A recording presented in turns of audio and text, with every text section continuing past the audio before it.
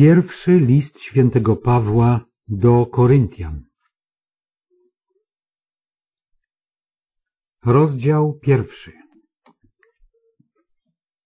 Paweł, powołany z woli Bożej na apostoła Chrystusa Jezusa i Sostenes, brat, zborowi Bożemu, który jest w Koryncie, poświęconym w Chrystusie Jezusie, powołanym świętym, wraz ze wszystkimi, którzy wzywają imienia Pana naszego Jezusa Chrystusa na każdym miejscu, ich i naszym, łaska wam i pokój od Boga, Ojca naszego i Pana Jezusa Chrystusa.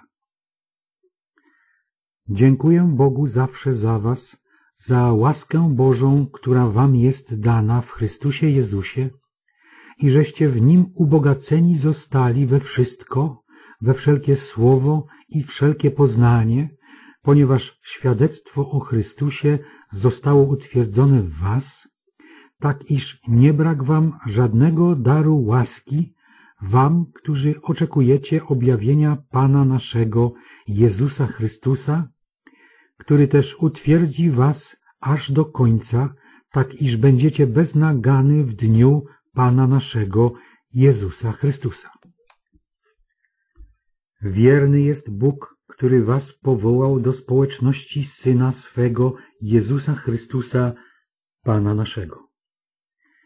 A proszę was, bracia, w imieniu Pana naszego Jezusa Chrystusa, abyście wszyscy byli jednomyślni i aby nie było między wami rozłamów, lecz abyście byli zespoleni jednością myśli i jednością zdania. Albowiem wiadomo mi o was, bracia moi, od domowników Chloi, że wynikły spory wśród was. A mówię to dlatego, że każdy z was powiada. Ja jestem Pawłowy, a ja Apollosowy, a ja Kefasowy, a ja Chrystusowy. Czy rozdzielony jest Chrystus? Czy Paweł za was został ukrzyżowany, albo w imię Pawła zostaliście ochrzczeni? Dziękuję Bogu, że nikogo z was nie ochrzciłem, prócz Kryspa i Gajusa, aby ktoś nie powiedział, że jesteście w imię moje ochrzczeni. Ochrzciłem też i dom Stefana. Poza tym nie wiem, czy kogo innego ochrzciłem. Nie posłał mnie bowiem Chrystus, abym chrzcił, lecz abym zwiastował dobrą nowinę i to nie w mądrości mowy, aby krzyż Chrystusowy nie utracił mocy. Albowiem mowa o krzyżu jest głupstwem dla tych, którzy giną, natomiast dla nas, którzy dostępujemy zbawienia, jest mocą Bożą. Napisano bowiem – w niwecz obrócę mądrość mądrych, a roztropność roztropnych odrzucę. Gdzie jest mądry? Gdzie uczony? Gdzie badacz wieku tego? Czyż Bóg nie obrócił w głupstwo mądrości świata? Skoro bowiem świat przez mądrość swoją nie poznał Boga w Jego Bożej mądrości, przeto upodobało się Bogu zbawić wierzących przez głupie zwiastowanie. Podczas gdy Żydzi znaków się domagają, a Grecy mądrości poszukują, my zwiastujemy Chrystusa ukrzyżowanego. Dla Żydów wprawdzie zgorszenie, a dla pogan głupstwo, natomiast dla powołanych i Żydów, i Greków zwiastujemy Chrystusa, który jest mocą Bożą i mądrością Bożą bo głupstwo Boże jest mędrsze niż ludzie, a słabość Boża mocniejsza niż ludzie.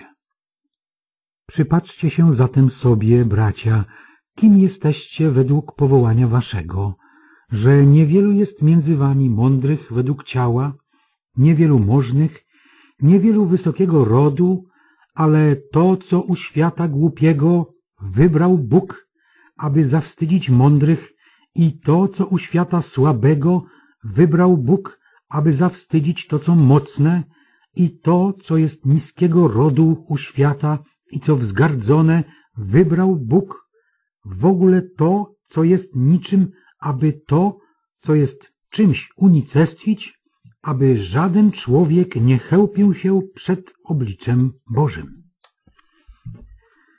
Ale wy dzięki Niemu jesteście w Chrystusie Jezusie, który stał się dla nas mądrością od Boga i sprawiedliwością i poświęceniem i odkupieniem, aby, jak napisano, kto się chlubi, w Panu się chlubił. Rozdział drugi. Również ja, gdy przyszedłem do was, bracia, nie przyszedłem z wyniosłością mowy lub mądrości, głosząc wam świadectwo Boże. Albowiem uznałem za właściwe nic innego nie umieć między wami, jak tylko Jezusa Chrystusa i to ukrzyżowanego. I przybyłem do was w słabości i w lęku i w wielkiej trwodze, a mowa moja i zwiastowanie moje nie były głoszone w przekonywających słowach mądrości, lecz objawiły się w nich duch i moc, aby wiara wasza nie opierała się na mądrości ludzkiej, lecz na mocy Bożej. My tedy głosimy mądrość wśród doskonałych, lecz nie mądrość tego świata, ani władców tego świata, którzy giną ale głosimy mądrość Bożą tajemną, zakrytą, którą Bóg przed wiekami przeznaczył ku chwale naszej, której żaden z władców tego świata nie poznał, bo gdyby poznali, nie byliby Pana chwały ukrzyżowali. Głosimy tedy, jak napisano. Czego oko nie widziało i ucho nie słyszało, i co do serca ludzkiego nie wstąpiło, to przygotował Bóg tym, którzy Go miłują. Albowiem nam objawił to Bóg przez Ducha, gdyż Duch bada wszystko, nawet głębokości Boże. Bo któż z ludzi wie, kim jest człowiek, prócz ducha ludzkiego, który w nim jest? Tak samo Kim jest Bóg, nikt nie poznał, tylko Duch Boży. A myśmy otrzymali nie ducha świata, lecz ducha, który jest z Boga, abyśmy wiedzieli, czym nas Bóg łaskawie obdarzył. Głosimy to nie w uczonych słowach ludzkiej mądrości, lecz w słowach, których naucza duch, przykładając do duchowych rzeczy duchową miarę ale człowiek zmysłowy nie przyjmuje tych rzeczy, które są z Ducha Bożego, bo są dlań głupstwem i nie może ich poznać, gdyż należy je duchowo rozsądzać. Człowiek zaś duchowy rozsądza wszystko, sam zaś nie podlega niczyjemu osądowi. Bo któż poznał myśl Pana? Któż może go pouczać? Ale my Jesteśmy myśli Chrystusowej. Rozdział trzeci. I ja, bracia, nie mogłem mówić do was jako do duchowych, lecz jako do cielesnych, jako do niemowląt w Chrystusie.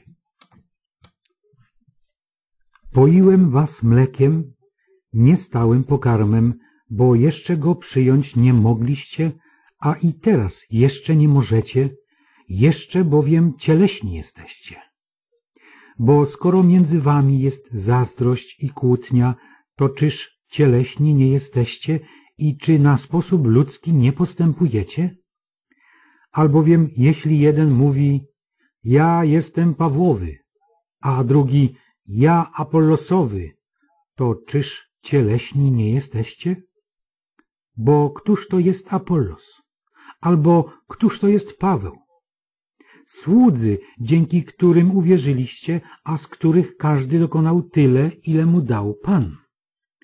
Ja zasadziłem, Apollos podlał, a wzrost dał Bóg. A zatem nie ten, co sadzi, jest czymś, ani ten, co podlewa, lecz Bóg, który daje wzrost. Bo ten, co sadzi i ten, co podlewa, jedno mają zadanie i każdy własną zapłatę odbierze według swojej pracy. Albowiem współpracownikami Bożymi jesteśmy. Wy rolą Bożą, budowlą Bożą jesteście. Według łaski Bożej, która mi jest dana, jako mądry budowniczy założyłem fundament, a inny na nim buduje. Każdy zaś niechaj baczy, jak na nim buduje. Albowiem fundamentu innego nikt nie może założyć oprócz tego, który jest założony, a którym jest Jezus Chrystus. A czy ktoś na tym fundamencie wznosi budowlę ze złota, srebra, drogich kamieni, z drzewa, siana, słomy, to wyjdzie na jaw w jego dziele. Dzień sądny bowiem to pokaże, gdyż w ogniu się objawi, a jakie jest dzieło każdego, wypróbuje ogień. Jeśli czyjeś dzieło zbudowane na tym fundamencie się ostoi, ten zapłatę odbierze.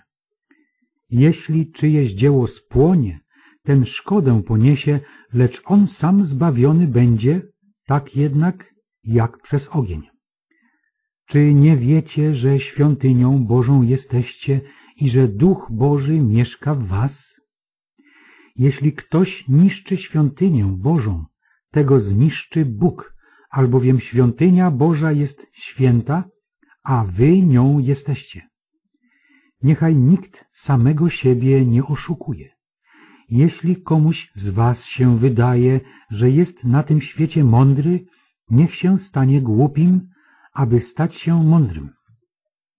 Albowiem mądrość tego świata jest u Boga głupstwem. Napisano bowiem. On chwyta mądrych w ich własne chytrości. I znowu. Pan zna myśli mędrców, że są marne. A zatem niechaj nikt z ludzi się nie chlubi. Wszystko bowiem jest wasze, czy Paweł, czy Apollos, czy Kefas, czy świat, czy życie, czy śmierć, czy teraźniejszość, czy przyszłość, wszystko jest wasze, wyście zaś Chrystusowi, a Chrystus Boży. Rozdział czwarty Tak niechaj każdy myśli o nas jako o sługach Chrystusowych i o szafarzach tajemnic Bożych. A od szafarzy tego się właśnie wymaga, żeby każdy okazał się wierny. Lecz co się mnie tyczy, nie ma najmniejszego znaczenia, czy wy mnie sądzić będziecie, czy jakiś inny sąd ludzki, bo nawet ja sam siebie nie sądzę. Albowiem do niczego się nie poczuwam, lecz to mnie jeszcze nie usprawiedliwia, bo tym, który mię sądzi, jest Pan. Przeto nie sądźcie przed czasem, dopóki nie przyjdzie Pan, który ujawni to, co ukryte w ciemności i objawi zamysły serc. A wtedy każdy otrzyma pochwałę od Boga. A ja odniosłem to do siebie samego i do Apollosa przez wzgląd na was, bracia, abyście na nas się nauczyli nie rozumieć nic więcej ponad to, co napisano, żeby nikt z was nie wynosił się nad drugiego, stając po stronie jednego nauczyciela przeciwko drugiemu. Bo któż ciebie wyróżnia? Albo co masz, czego nie otrzymałbyś? A jeśli otrzymałeś, czemu się chlubisz, jakobyś nie otrzymał? Już jesteście nasyceni, już wzbogaciliście się. Bez nas staliście się królami. I obyście byli królami, abyśmy i my wespół z wami królowali. Bo wydaje mi się, że Bóg nas, apostołów, oznaczył jako najpośledniejszych jakby na śmierć skazanych, gdyż staliśmy się widowiskiem dla świata i aniołów i ludzi. Myśmy głupi dla Chrystusa, a wyście rozumni w Chrystusie. Myśmy słabi, a wyście mocni. Wy jesteście szanowani, a my w pogardzie. Aż do tej chwili cierpimy głód i pragnienie i jesteśmy nadzy i policzkowani i tułamy się. I trudzimy się pracą własnych rąk. Spotwarzają nas, my błogosławimy. Prześladują nas, my znosimy. Złorzeczą nam, my się modlimy. Staliśmy się jak śmiecie tego świata, jak omieciny u wszystkich aż dotąd. Piszę to nie aby was zawstydzić, lecz aby was napomnieć jako moje dzieci umiłowane. Bo choćbyście mieli dziesięć tysięcy nauczycieli w Chrystusie, to jednak ojców macie niewielu. Wszak ja was zrodziłem przez Ewangelię w Chrystusie Jezusie. Proszę was tedy, bądźcie naśladowcami moimi. Dlatego posłałem do was Tymoteusza, który jest moim umiłowanym i wiernym synem w Panu. Ten wam przypomni postępowanie moje w Chrystusie, którego nauczam wszędzie, w każdym zborze. A niektórzy wzbili się w pychę, myśląc, że nie przyjdę do was. Ja jednak przyjdę do was wkrótce, jeśli Pan zechce, i zapoznam się nie ze słowem pysznych, lecz z ich mocą. Albowiem Królestwo Boże zasadza się nie na słowie, lecz na mocy. Czego chcecie? Czy mam przyjść do was z rózgą, czy też z miłością i w duchu łagodności? Rozdział piąty Słyszy się powszechnie o wszeteczeństwie między wami i to takim wszeteczeństwie, jakiego nie ma nawet między poganami, mianowicie, że ktoś żyje z żoną ojca swego. A wyście wzbili się w pychę, zamiast się raczej zasmucić i wykluczyć spośród siebie tego, kto takiego uczynku się dopuścił. Lecz ja, choć nieobecny ciałem, ale obecny duchem, już osądziłem tego, który to uczynił, tak jakbym był obecny. Gdy się tedy zgromadzicie w imieniu Pana naszego Jezusa Chrystusa, wy i duch mój z mocą Pana naszego Jezusa, oddajcie takiego szatanowi na zatracenie ciała, aby duch był zbawiony w dzień pański. Nie macie się czym chlubić. Czy nie wiecie, że odrobina kwasu cały zaczyn zakwasza? Usuńcie stary kwas, abyście się stali nowym zaczynem, ponieważ jesteście przaśni, albowiem za naszą Wielkanoc jako baranek został ofiarowany Chrystus. Obchodźmy więc święto nie w starym kwasie, ani w kwasie złości i przewrotności, lecz w przaśnikach szczerości i prawdy. Napisałem wam w liście, abyście nie przestawali z wszetecznikami. Ale nie miałem na myśli wszeteczników tego świata, albo chciwców, czy grabieżców, czy bałwochwalców, bo inaczej musielibyście wyjść z tego świata. Lecz teraz napisałem wam, abyście nie przestawali z tym, który się mieni bratem, a jest wszetecznikiem lub chciwcem, lub bałwochwalcą, lub oszczercą, lub pijakiem, lub grabieżcą, żebyście z takim nawet nie jadali. Bo czy to moja rzecz sądzić tych, którzy są poza zborem? Czy to nie wasza rzecz sądzić raczej tych, którzy są w zborze? Tych tedy, którzy są poza nami, Bóg sądzić będzie. Usuńcie tego, który jest zły spośród siebie. Rozdział szósty Czy śmie ktoś z was, mając sprawę z drugim, procesować się przed niesprawiedliwymi zamiast przed świętymi? Czy nie wiecie, że święci świat sądzić będą? A jeśli wy świat sądzić będziecie, to czyż jesteście niegodni osądzać sprawy pomniejsze? Czy nie wiecie, że aniołów sądzić będziemy? Cóż dopiero zwykłe sprawy życiowe? Jeśli macie do osądzenia zwykłe sprawy życiowe, to czemu powołujecie na sędziów tych, którzy w zborze się nie liczą? Mówię to, aby was zawstydzić. Czyż nie ma między wami ani jednego mądrego, który może być rozjemcą między braćmi swymi? Tymczasem procesuje się brat z bratem i to przed niewiernymi. W ogóle już to przynosi wam ujmę, że się z sobą procesujecie. Czemu raczej krzywdy nie cierpicie? Czemu raczej szkody nie ponosicie? Tymczasem wy sami krzywdzicie i szkodę wyrządzacie, i to braciom.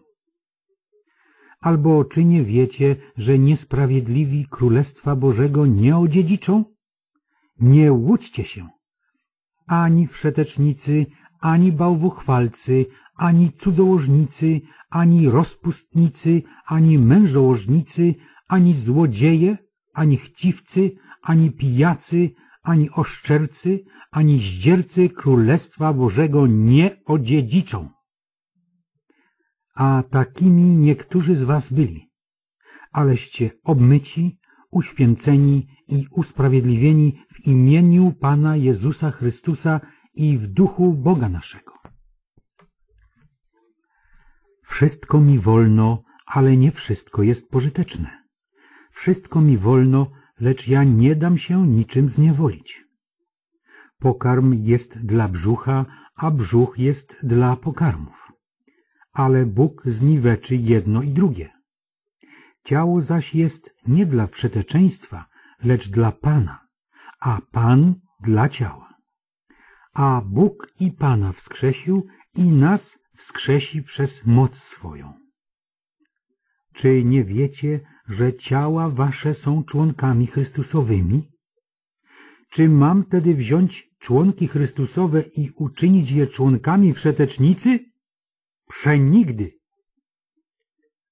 Albo czy nie wiecie, że kto się łączy z wszetecznicą, jest z nią jednym ciałem? Albowiem, mówi Pismo, ci dwoje będą jednym ciałem. Kto zaś łączy się z Panem, jest z nim jednym duchem. Uciekajcie przed wszeteczeństwem. Wszelki grzech, jakiego człowiek się dopuszcza, jest poza ciałem. Ale kto się wszeteczeństwa dopuszcza, ten grzeszy przeciwko własnemu ciału. Albo czy nie wiecie, że ciało wasze jest świątynią Ducha Świętego, który jest w was i którego macie od Boga i że nie należycie też do siebie samych?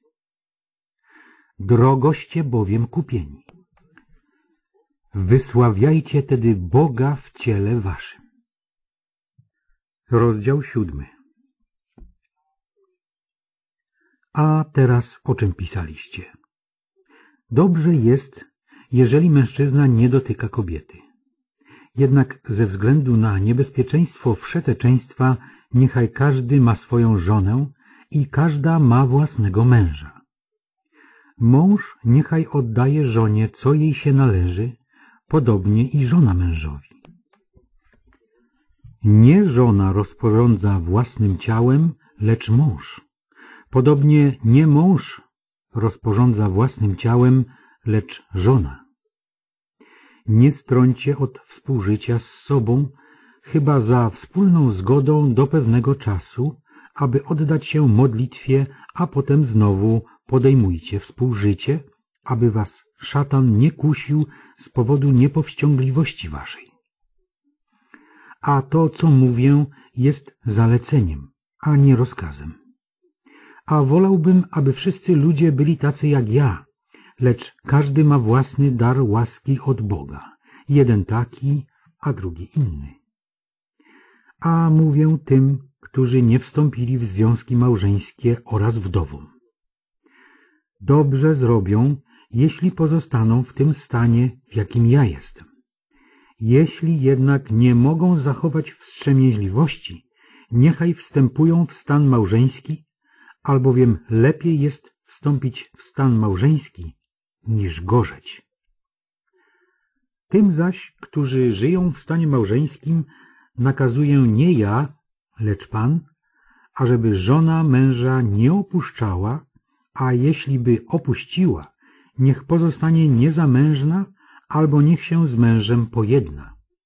Niech też mąż z żoną się nie rozwodzi. Pozostałym zaś mówię ja, nie Pan. Jeśli jakiś brat ma żonę pogankę, a ta zgadza się na współżycie z nim, niech się z nią nie rozwodzi. I żona, która ma męża poganina, a ten zgadza się na współżycie z nią, niech się z nim nie rozwodzi. Albowiem mąż poganin uświęcony jest przez żonę i żona poganka uświęcona jest przez wierzącego męża. Inaczej dzieci wasze byłyby nieczyste, a tak są święte. A jeśli poganin chce się rozwieść, niechże się rozwiedzie.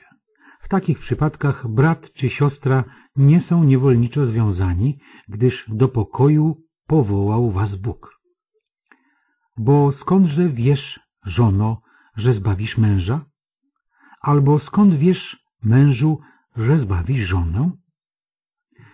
Poza tym, niech każdy żyje tak, jak mu wyznaczył Bóg, w takim stanie, w jakim powołał go Bóg. Tak też zarządzam we wszystkich zborach. Był ktoś w chwili powołania obrzezany, niech nie ukrywa obrzezania. Był ktoś w chwili powołania nieobrzezany, niech się nie obrzezuje. Obrzezanie nie ma żadnego znaczenia i nieobrzezanie nie ma żadnego znaczenia, ale tylko przestrzeganie przykazań Bożych. Niech każdy pozostanie w tym stanie, w jakim został powołany. Zostałeś powołany, będąc niewolnikiem? Nie trap się tym. Ale jeśli możesz stać się wolnym, raczej korzystaj z tego. Kto bowiem jako niewolnik został powołany w Panu, ten jest wyzwoleńcem Pana. Podobnie kto jako wolny został powołany, jest niewolnikiem Chrystusa. Drogoście kupieni, nie stawajcie się niewolnikami ludzi. Bracia, niech każdy pozostanie przed Bogiem w tym stanie, w jakim został powołany. A co do panien, nakazu pańskiego nie mam, ale wyrażam zdanie jako ten, który dzięki miłosierdziu pańskiemu zasługuje na wiarę. Sądzę więc, że w obliczu groźnego położenia dobrze jest człowiekowi pozostać takim, jakim jest. Jesteś związany z żoną? Nie szukaj rozłączenia. Nie jesteś związany z żoną? Nie szukaj żony. A jeśli się ożeniłeś, nie zgrzeszyłeś, a jeśli panna wyszła za mąż, nie zgrzeszyła. Wszakże tacy będą mieli doczesne kłopoty, ja zaś chciałbym wam tego oszczędzić. A to powiadam, bracia, czas, który pozostał, jest krótki. Dopóki jednak trwa, winni również ci, którzy mają żony, żyć tak, jakby ich nie mieli. A ci, którzy płaczą, jakby nie płakali. A ci, którzy się weselą, jakby się nie weselili, a ci, którzy kupują, jakby nic nie posiadali, a ci, którzy używają tego świata, jakby go nie używali. Przemija bowiem kształt tego świata. Chcę, abyście byli wolni od trosk. Kto nie ma żony, troszczy się o sprawy pańskie, o to, jakby się Panu podobać. A żonaty troszczy się o sprawy tego świata, o to, jakby się podobać żonie i żyje w rozterce. Także kobieta niezamężna i panna troszczy się o sprawy pańskie, aby być świętą i ciałem, i duchem. Mężatka zaś troszczy się o sprawy tego świata, jakby się podobać mężowi. A to mówię dla własnego dobra waszego, nie aby sidła na was zarzucać, lecz abyście postępowali przystojnie i trwali przy Panu ustawicznie. A jeśli ktoś uważa, że wobec swej panny zachowuje się niewłaściwie, bo już przekwitła, a powinna była wyjść za mąż, niech czyni co chce, nie zgrzeszy, niech się pobiorą. Kto jednak mocno postanowił w sercu swoim bez przymusu, a panuje nad wolą swoją i rozstrzygnął we własnym sercu, że zachowa swoją pannę w dziewictwie, dobrze uczyni. Tak więc kto poślubia pannę swoją, dobrze czyni, ale kto nie poślubia, lepiej czyni. Żona związana jest tak długo, dopóki żyje jej mąż, a jeśli mąż umrze, wolno jej wyjść za mąż, za kogo chce, byle w Panu. Ale według mojego zdania jest szczęśliwsza, jeśli tak pozostanie, a sądzę, że i ja mam Ducha Bożego. Rozdział ósmy A co do mięsa składanego w ofierze bałwanom, wiemy, że wszyscy mamy właściwe poznanie. Poznanie nadyma, ale miłość buduje. Jeśli kto mniema, że coś poznał, jeszcze nie poznał, jak należało poznać. Lecz jeśli kto miłuje Boga, do tego przyznaje się Bóg. Co więc dotyczy spożywania mięsa składanego w ofierze bałwanom, wiemy, że nie ma bożka na świecie i że nie ma żadnego innego Boga oprócz jednego. Bo chociaż nawet są tak zwani bogowie, czy to na niebie, czy na ziemi, i dlatego jest wielu bogów i wielu panów, wszakże dla nas istnieje tylko jeden Bóg Ojciec, z którego pochodzi wszystko i dla którego istniejemy, i jeden Pan, Jezus Chrystus, przez którego wszystko istnieje i przez którego my także istniejemy. Lecz nie wszyscy mają właściwe poznanie. Niektórzy bowiem, przyzwyczajeni dotąd do bałwochwalstwa, spożywają mięso jako składane w ofierze bałwanom i sumienie ich z natury słabe kala się. Zapewne pokarm nie zbliża nas do Boga, gdyż nic nie tracimy, jeśli nie jemy i nic nie zyskujemy, jeśli jemy. Baczcie jednak, aby ta wolność wasza nie stała się zgorszeniem dla słabych. Albowiem jeśli by kto ujrzał Ciebie, który masz właściwe poznanie, siedzącego za stołem w świątyni pogańskiej, to czyż to nie pobudzi sumienia jego, ponieważ jest słaby do spożywania mięsa składanego w ofierze bałwanom? I tak przyczyni się Twoje poznanie do zguby człowieka słabego, brata, za którego Chrystus umarł. A tak, grzesząc przeciwko braciom i obrażając ich słabe sumienie, grzeszycie przeciwko Chrystusowi. Przeto jeśli pokarm gorszy brata mego, nie będę jadł mięsa na wieki, abym brata mego nie zgorszył. Rozdział dziewiąty Czy nie jestem wolny? Czy nie jestem apostołem? Czy nie widziałem Jezusa, Pana naszego? Czy wy nie jesteście dziełem moim w Panu? Jeśli dla innych nie jestem apostołem, to jednak dla was nim jestem. Wszak pieczęcią apostolstwa mego wy jesteście w Panu. Moja obrona przeciwko tym, którzy mnie oskarżają, jest taka. Czy nie wolno nam jeść i pić? Czy nie wolno nam zabierać z sobą żony chrześcijanki, jak czynią pozostali apostołowie i bracia pańscy i Kefas? Czy tylko ja i Barnabasz nie mamy prawa nie pracować? Kto kiedy pełni służbę żołnierską własnym kosztem? Kto zakłada winnicę, a owocu jej nie spożywa? Albo kto pasie trzodę, a mleka od trzody nie spożywa? Czy to tylko ludzkie mówienie? Czy i zakon tego nie mówi? Albowiem w zakonie mojżeszowym napisano Młócącemu wołowi nie zawiązuj pyska. Czy Bóg to mówi ze względu na woły? Czy nie mówi tego raczej ze względu na nas? Tak jest. Ze względu na nas jest napisane, że oracz winien żyć w nadziei, a młocarz młócić w nadziei, że będzie uczestniczył w plonach. Jeżeli my dla was dobra duchowe posialiśmy, to cóż wielkiego, jeżeli wasze ziemskie dobra rządź będziemy? Jeżeli inni roszczą sobie prawo do was, czemuż raczej nie my? Myśmy jednak z tego prawa nie skorzystali, ale wszystko znosimy, aby żadnej przeszkody nie stawiać Ewangelii Chrystusowej. Czy nie wiecie, że ci, którzy służbę w świątyni sprawują, ze świątyni żyją, a którzy przy ołtarzu służą, cząstkę z ołtarza otrzymują? Tak też postanowił Pan, ażeby ci, którzy Ewangelię zwiastują, z Ewangelii żyli.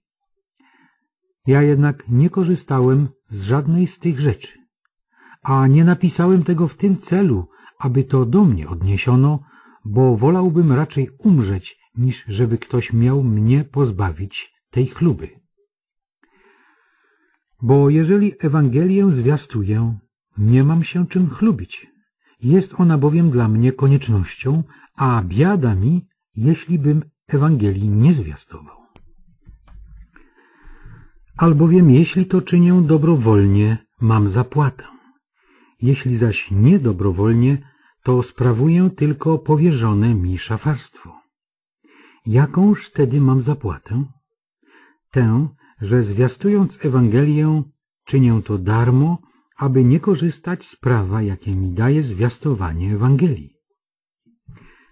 Będąc wolnym wobec wszystkich, oddałem się w niewolę wszystkim, abym jak najwięcej ludzi pozyskał.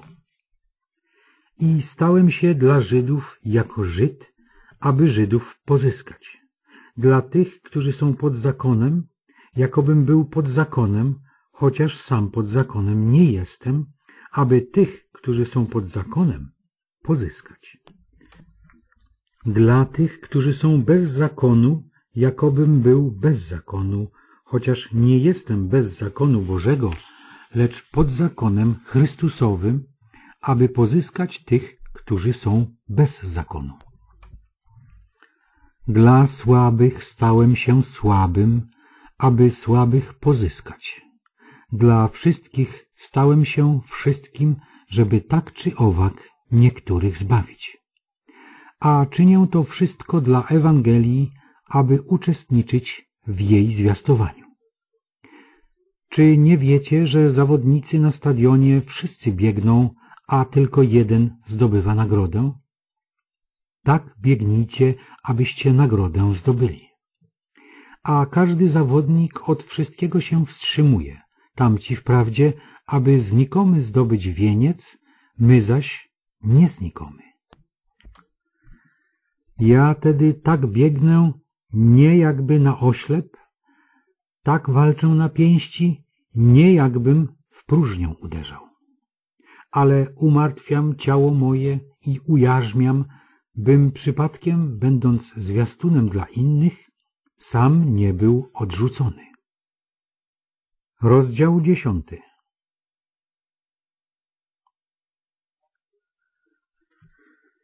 A chcę, bracia, abyście dobrze wiedzieli, że ojcowie nasi wszyscy byli pod obłokiem i wszyscy przez morze przeszli i wszyscy w Mojżesza ochrzczeni zostali w obłoku i w morzu i wszyscy ten sam pokarm duchowy jedli i wszyscy ten sam napój duchowy pili. Pili bowiem z duchowej skały, która im towarzyszyła, a skałą tą był Chrystus. Lecz większości z nich nie upodobał sobie Bóg. Ciała ich bowiem zasłały pustynię. A to stało się dla nas wzorem ostrzegającym nas, abyśmy złych rzeczy nie pożądali, jak tamci pożądali. Nie bądźcie też bałwachwalcami, jak niektórzy z nich, jak napisano. Usiadł lud, aby jeść i pić i wstali, aby się bawić. Nie oddawajmy się też wszeteczeństwu, jak niektórzy z nich oddawali się wszeteczeństwu i padło ich jednego dnia dwadzieścia trzy tysiące, ani nie kuśmy Pana, jak niektórzy z nich kusili i od wężów poginęli, ani nie szemrajcie, jak niektórzy z nich szemrali i poginęli z ręki niszczyciela. A to wszystko na tamtych przyszło dla przykładu i jest napisane ku przestrodze dla nas, którzy znaleźliśmy się u kresu wieków. A tak, kto mniema, że stoi, niech baczy, aby nie upadł. Dotąd nie przyszło na was pokuszenie, które by przekraczało siły ludzkie. Lecz Bóg jest wierny i nie dopuści, abyście byli kuszeni ponad siły wasze, ale z pokuszeniem da i wyjście, abyście je mogli znieść. Przeto, najmilsi moi, uciekajcie od bałwochwalstwa. Przemawiam jak do rozsądnych. Rozsądźcie sami, co mówią. Kielich błogosławieństwa, który błogosławimy, czyż nie jest społecznością krwi Chrystusowej? Chleb, który łamiemy, czyż nie jest społecznością ciała Chrystusowego? Ponieważ jest jeden chleb, my, ilu nas jest, stanowimy jedno ciało, wszyscy bowiem jesteśmy uczestnikami jednego chleba. Patrzcie na Izraela według ciała. Czyż ci, którzy spożywają ofiary, nie są uczestnikami ołtarza? Cóż wtedy chcę powiedzieć? Czy to, że mięso składane w ofierze bałwanom jest czymś więcej niż mięsem? Albo że bożek jest czymś więcej niż bałwanem? Nie. Chcę powiedzieć, że to, co składają w ofierze, ofiarują demonom, a nie Bogu. Ja zaś nie chcę, abyście mieli społeczność z demonami. Nie możecie pić kielicha pańskiego i kielicha demonów. Nie możecie być uczestnikami stołu pańskiego i stołu demonów. Albo czy chcemy Pana pobudzać do gniewu? Czyśmy mocniejsi od Niego? Wszystko wolno, ale nie wszystko jest pożyteczne. Wszystko wolno, ale nie wszystko buduje. Niech nikt nie szuka własnej korzyści, lecz korzyści bliźniego. Wszystko, co się sprzedaje w jadkach, jedzcie, o nic nie pytając dla spokoju sumienia. Albowiem pańska jest ziemia i to, co ją wypełnia. A jeśli was kto z niewiernych zaprosi, a chcecie pójść, Jedzcie wszystko, co wam podadzą, o nic nie pytając, dla spokoju sumienia. A jeśli by wam ktoś powiedział, to jest mięso złożone w ofierze bałwanom, nie jedzcie przez wzgląd na onego, który na to wskazał i dla spokoju sumienia. Mówię zaś nie o twoim sumieniu, lecz o sumieniu bliźniego bo dlaczegoż by moja wolność miała być sądzona przez cudze sumienie? A jeśli ja z dziękczynieniem coś spożywam, dlaczego mają mi złorzeczyć za to, za co ja dziękuję? A więc, czy jecie, czy pijecie, czy cokolwiek czynicie, wszystko czyńcie na chwałę Bożą. Nie dawajcie zgorszenia ani Żydom, ani Grekom, ani zborowi Bożemu, jak i ja staram się pod każdym względem podobać się wszystkim, nie szukając korzyści własnej, lecz wielu, aby byli zbawieni. Rozdział jedenasty Bądźcie naśladowcami moimi, jak i ja jestem naśladowcą Chrystusa. A chwalę was, bracia, za to, że we wszystkim o mnie pamiętacie i że trzymacie się pouczeń, jakie wam przekazałem. A chcę, abyście wiedzieli, że głową każdego męża jest Chrystus, a głową żony mąż, a głową Chrystusa Bóg. Każdy mężczyzna, który się modli albo prorokuje z nakrytą głową, hańbi głowę swoją. I każda kobieta, która się modli albo prorokuje z nienakrytą głową, hańbi głowę swoją, bo jest to jedno i to samo, jak gdyby była ogolona. Bo jeśli kobieta nie nakrywa głowy, to niech się też strzyże. A jeśli hańbiącą jest rzeczą dla kobiety być ostrzyżoną albo ogoloną, to niech nakrywa głowę. Mężczyzna bowiem nie powinien nakrywać głowy, gdyż jest obrazem i odbiciem chwały Bożej, lecz kobieta jest odbiciem chwały mężczyzny. Bo nie mężczyzna jest z kobiety, ale kobieta z mężczyzny. Albowiem mężczyzna nie jest stworzony ze względu na kobietę, ale kobieta ze względu na mężczyznę. Dlatego kobieta powinna mieć na głowie oznakę uległości ze względu na aniołów. Zresztą w Panu kobieta jest równie ważna dla mężczyzny, jak mężczyzna dla kobiety. Albowiem jak kobieta jest z mężczyzny, tak też mężczyzna przez kobietę, a wszystko jest z Boga. Osądźcie sami, czy przystoi kobiecie bez nakrycia modlić się do Boga?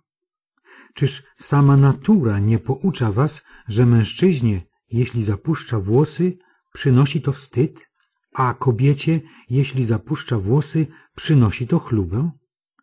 Gdyż włosy są jej dane jako okrycie. A jeśli się komuś wydaje, że można się upierać przy swoim, niech to robi. Ale my takiego zwyczaju nie mamy, ani też zbory Boże. A dając to zalecenie, nie pochwalam, że się schodzicie nie ku lepszemu, ale ku gorszemu. Słyszę bowiem najpierw, że gdy się jako zbór schodzicie, powstają między wami podziały i po części temu wierzę. Zresztą muszą być nawet rozdwojenia między wami, aby wyszło na jaw, którzy wśród was są prawdziwymi chrześcijanami. Wy tedy, gdy się schodzicie w zborze, nie spożywacie w sposób należyty wieczerzy pańskiej.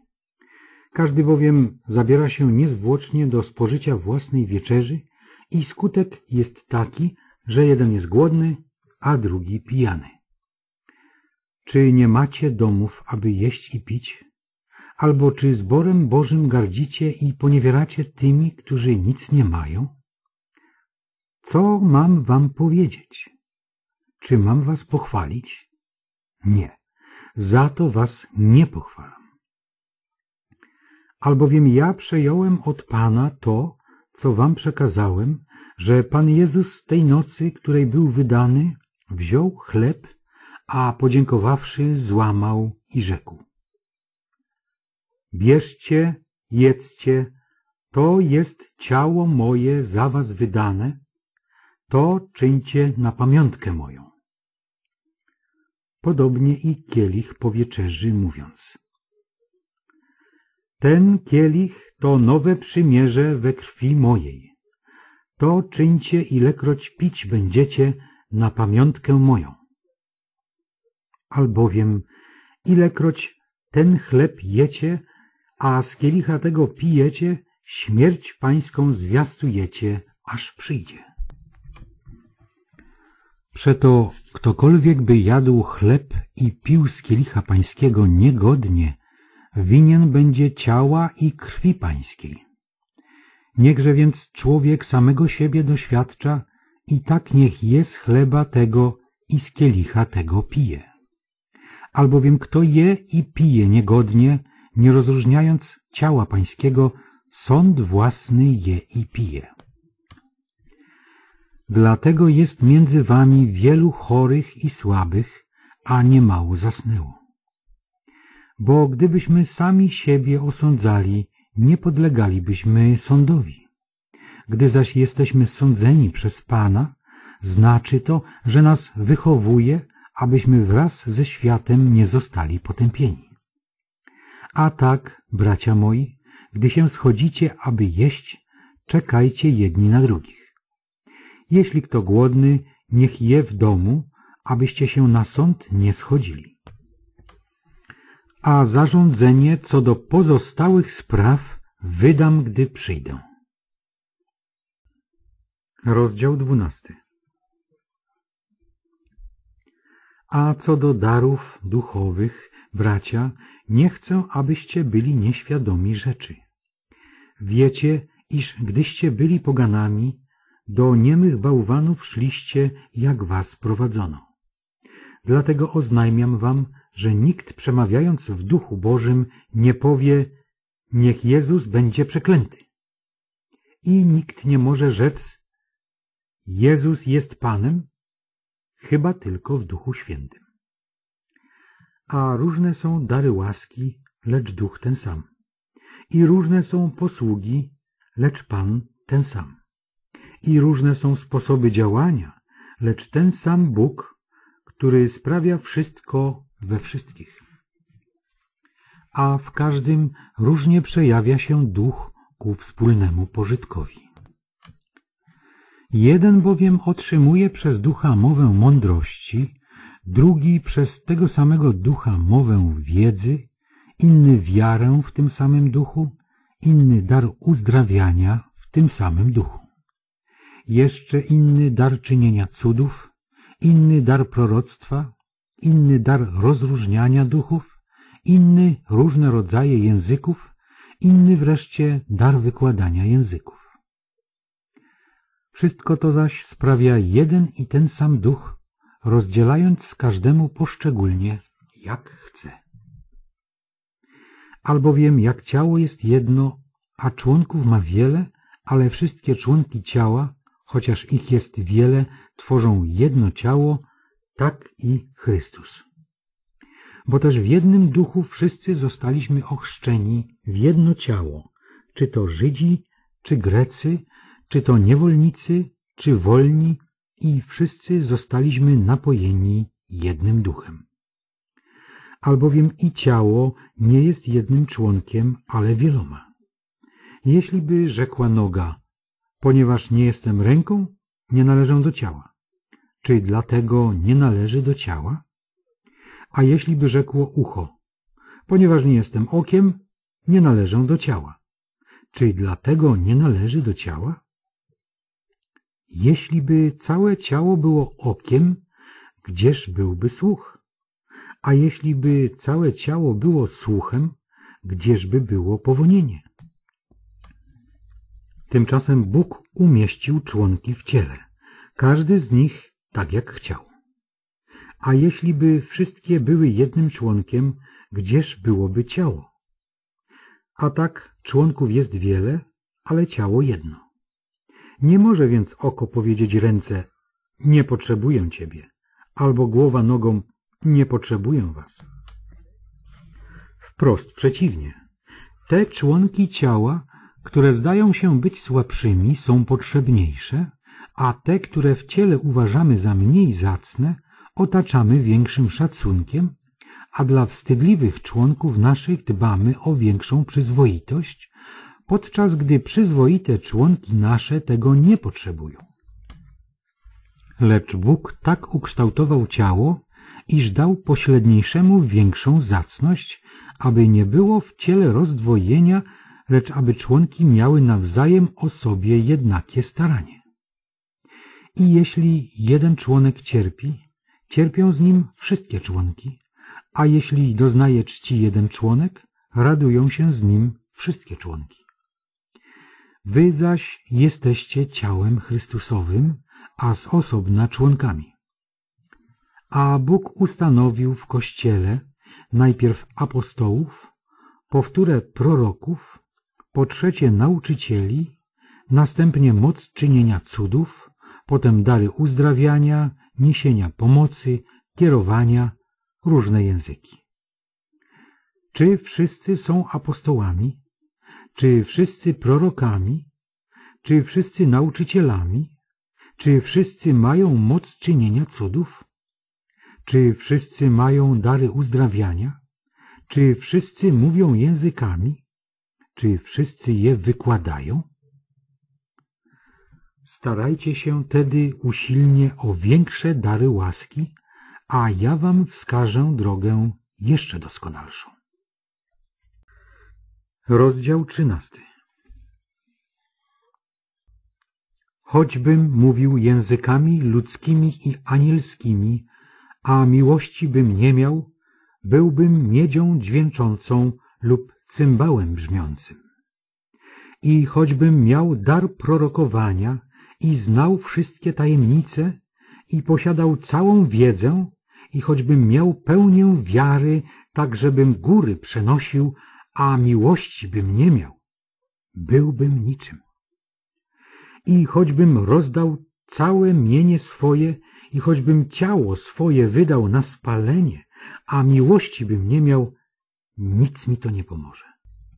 Miłość jest cierpliwa, miłość jest dobrotliwa, nie zazdrości, miłość nie jest chełpliwa, nie nadyma się, nie postępuje nieprzystojnie, nie szuka swego, nie unosi się, nie myśli nic złego, nie raduje się z niesprawiedliwości, ale się raduje z prawdy.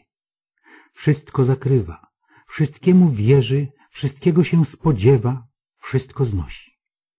Miłość nigdy nie ustaje, bo jeśli są proroctwa, przeminą, jeśli języki ustaną, jeśli wiedza w niwecz się obróci. Bo cząstkowa jest nasza wiedza i cząstkowe nasze prorokowanie, lecz gdy nastanie doskonałość, to co cząstkowe przeminie.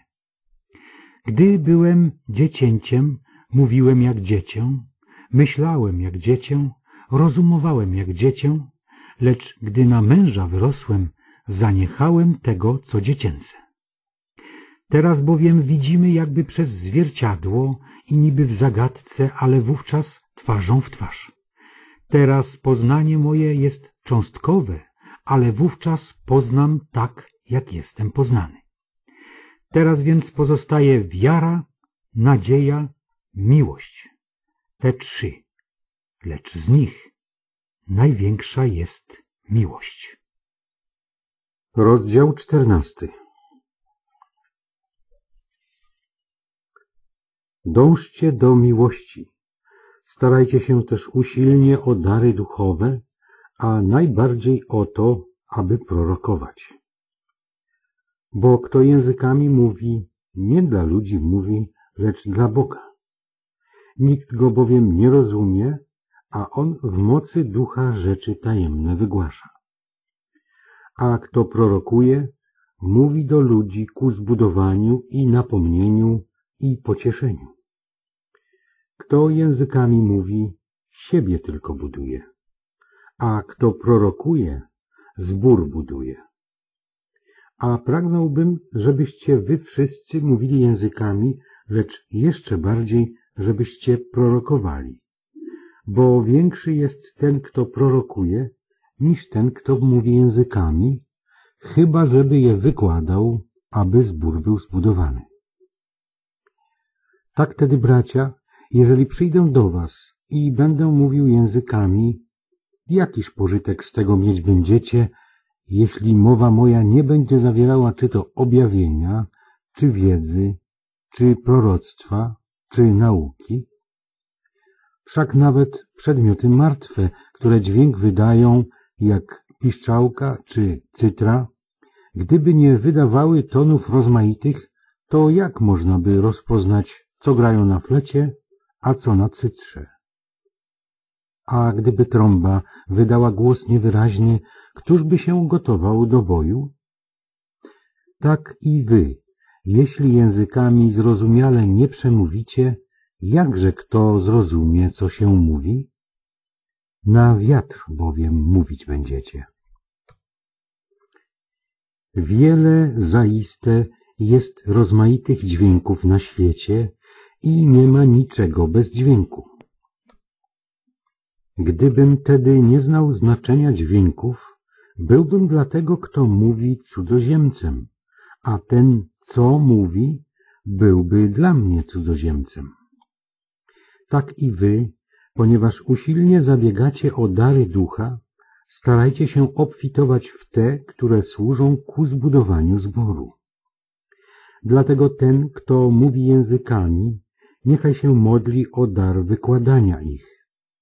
Bo jeśli się modlę, mówiąc językami, duch mój się modli, ale rozum mój tego nie przyswaja. Cóż wtedy? Będę się modlił duchem, będę się modlił i rozumem. Będę śpiewał duchem, będę też śpiewał i rozumem. Bo jeżeli wysławiasz Boga w duchu, jakże zwykły wierny, który jest obecny, może rzec na Twoje dziękczynienie Amen, skoro nie rozumie, co mówisz. Ty wprawdzie pięknie dziękujesz, ale drugi się nie buduje. Dziękuję Bogu, że ja o wiele więcej językami mówię niż wy wszyscy. Wszakże w zborze wolę powiedzieć pięć słów zrozumiałych, aby i innych pouczyć, niż dziesięć tysięcy słów językiem niezrozumiałym. Bracia, nie bądźcie dziećmi w myśleniu, ale bądźcie w złem jak niemowlęta, natomiast w myśleniu bądźcie dojrzali. W zakonie napisano Przez ludzi obcego języka i przez usta obcych mówić będę do ludu tego, ale i tak mnie nie usłuchają, mówi Pan. Przeto mówienie językami to znak nie dla wierzących, ale dla niewierzących, a proroctwo nie dla niewierzących, ale dla wierzących.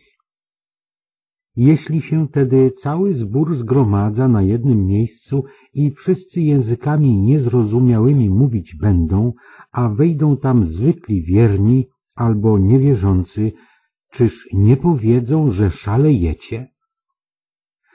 Lecz jeśli wszyscy prorokują, a wejdzie jakiś niewierzący albo zwykły wierny, wszyscy go badają, wszyscy go osądzają, skrytości serca jego wychodzą na jaw i wtedy upadłszy na twarz, odda pokłoń Bogu i wyzna.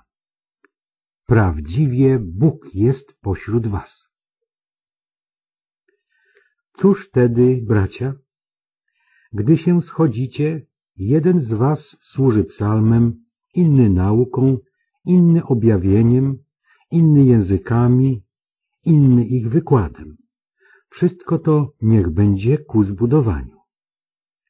Jeśli kto mówi językami, niech to czyni dwóch albo najwyżej trzech i to po kolei, a jeden niech wykłada.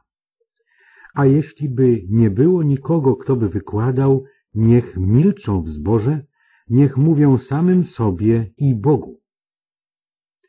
A co do proroków, to niech mówią dwaj albo trzej, a inni niech osądzają. Lecz jeśli by ktoś inny z siedzących otrzymał objawienie, pierwszy niech milczy.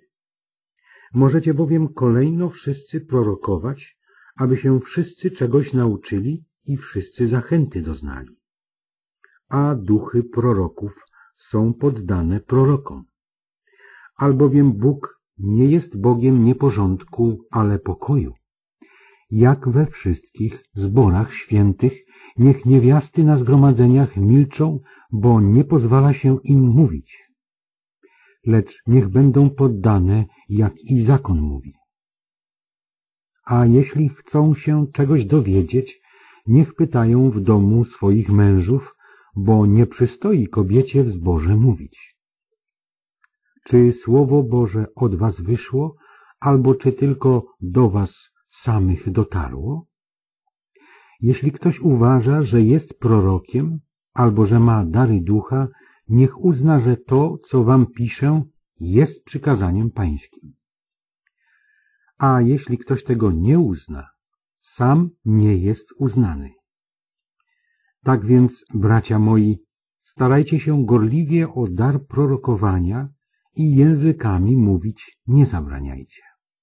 A wszystko niech się odbywa godnie i w porządku. Rozdział 15 A przypominam wam, bracia, Ewangelię, którą wam zwiastowałem, którą też przyjęliście, w której trwacie i przez którą zbawieni jesteście, jeśli ją tylko zachowujecie tak, jak wam ją zwiastowałem, chyba że nadaremnie uwierzyliście. Najpierw bowiem podałem wam to, co i ja przejąłem, że Chrystus umarł za grzechy nasze według pism i że został pogrzebany i dnia trzeciego został z martwych wzbudzony według pism i że ukazał się Kefasowi, potem dwunastu. Potem ukazał się więcej niż pięciuset braciom naraz, z których większość dotychczas żyje, niektórzy zaś zasnęli. Potem ukazał się Jakubowi, następnie wszystkim apostołom, a w końcu po wszystkich ukazał się i mnie jako poronionemu płodowi. Ja bowiem jestem najmniejszym z apostołów i nie jestem godzien nazywać się apostołem, gdyż prześladowałem Kościół Boży. Ale z łaski Boga jestem tym, czym jestem, a łaska Jego okazana mi nie była daremna, lecz daleko więcej niż oni wszyscy pracowałem, wszakże nie ja, lecz łaska Boża, która jest ze mną. Czy więc ja, czy oni to samo opowiadamy i tak uwierzyliście. A jeśli się o Chrystusie opowiada, że został z martwych wzbudzony, jakże mogą mówić niektórzy między wami, że zmartwychwstania nie ma? Bo jeśli nie ma zmartwychwstania, to i Chrystus nie został wzbudzony. A jeśli Chrystus nie został wzbudzony, wtedy i kazanie nasze daremne, daremna też wasza wiara. Wówczas też byliśmy fałszywymi świadkami Bożymi, bo świadczyliśmy o Bogu, że Chrystusa wzbudził, którego nie wzbudził, skoro umarli nie bywają wzbudzeni. Jeśli bowiem umarli nie bywają wzbudzeni, to i Chrystus nie został wzbudzony. A jeśli Chrystus nie został wzbudzony, daremna jest wiara wasza. Jesteście jeszcze w swoich grzechach. Zatem i ci, którzy zasnęli w Chrystusie, poginęli. Jeśli tylko w tym życiu pokładamy nadzieję w Chrystusie, jesteśmy ze wszystkich ludzi najbardziej pożałowania godni. A jednak Chrystus został wzbudzony z martwych i jest pierwiastkiem tych, którzy zasnęli. Skoro bowiem przyszła przez człowieka śmierć, przez człowieka też przyszło zmartwychwstanie. Albowiem jak w Adamie wszyscy umierają, tak też w Chrystusie wszyscy zostaną ożywieni. A każdy w swoim porządku.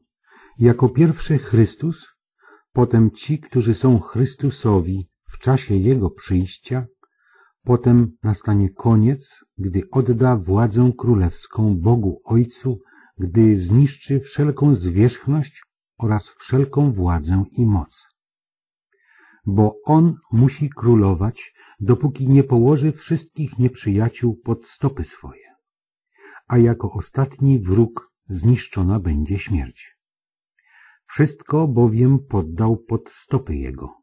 Gdy zaś mówi, że wszystko zostało poddane, rozumie się, że oprócz tego, który mu wszystko poddał. A gdy mu wszystko zostanie poddane, wtedy też i sam Chrystus będzie poddany temu, który mu poddał wszystko, aby Bóg był wszystkim we wszystkim. Cóż tedy uczynią ci, którzy się dają chrzcić za umarłych? Jeżeli umarli w ogóle nie bywają wzbudzeni, to po cóż się dają chrzcić za nich? Po cóż i my każdej godziny narażamy się na niebezpieczeństwo. Tak ja codziennie umieram, bracia, jak jest prawdą, że wy jesteście chlubą naszą, którą mam w Chrystusie Jezusie, Panu naszym. Jeśli ja na sposób ludzki walczyłem z dzikimi zwierzętami w Efezie, jaki z tego dla mnie pożytek? Jeśli umarli nie bywają wzbudzeni, Jedzmy i pijmy, bo jutro pomrzemy. Nie błądźcie. Złe rozmowy psują dobre obyczaje. Opamiętajcie się nareszcie i nie grzeszcie, albowiem niektórzy nie znają Boga. Dla zawstydzenia waszego to mówię. Ale powie ktoś, jak bywają wzbudzeni umarli i w jakim ciele przychodzą? Nie mądry. To, co siejesz, nie ożywa, jeśli nie umrze.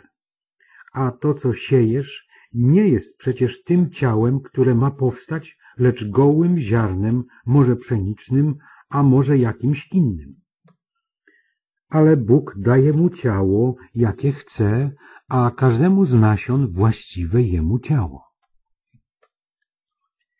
Nie każde ciało jest jednakowe, bo inne jest ciało ludzkie, a inne ciało zwierząt, jeszcze inne ciało ptaków, a inne ryb. I są ciała niebieskie i ciała ziemskie, lecz inny jest blask niebieskich, a inny ziemskich. Inny blask słońca, a inny blask księżyca i inny blask gwiazd, bo gwiazda od gwiazdy różni się jasnością. Tak też jest ze zmartwychwstaniem. Co się sieje jako skażone, bywa wzbudzone nieskażone. Sieje się w niesławie, bywa wzbudzone w chwale. Sieje się w słabości, bywa wzbudzone w mocy. Sieje się ciało cielesne, bywa wzbudzone ciało duchowe. Jeżeli jest ciało cielesne, to jest także ciało duchowe. Tak też napisano.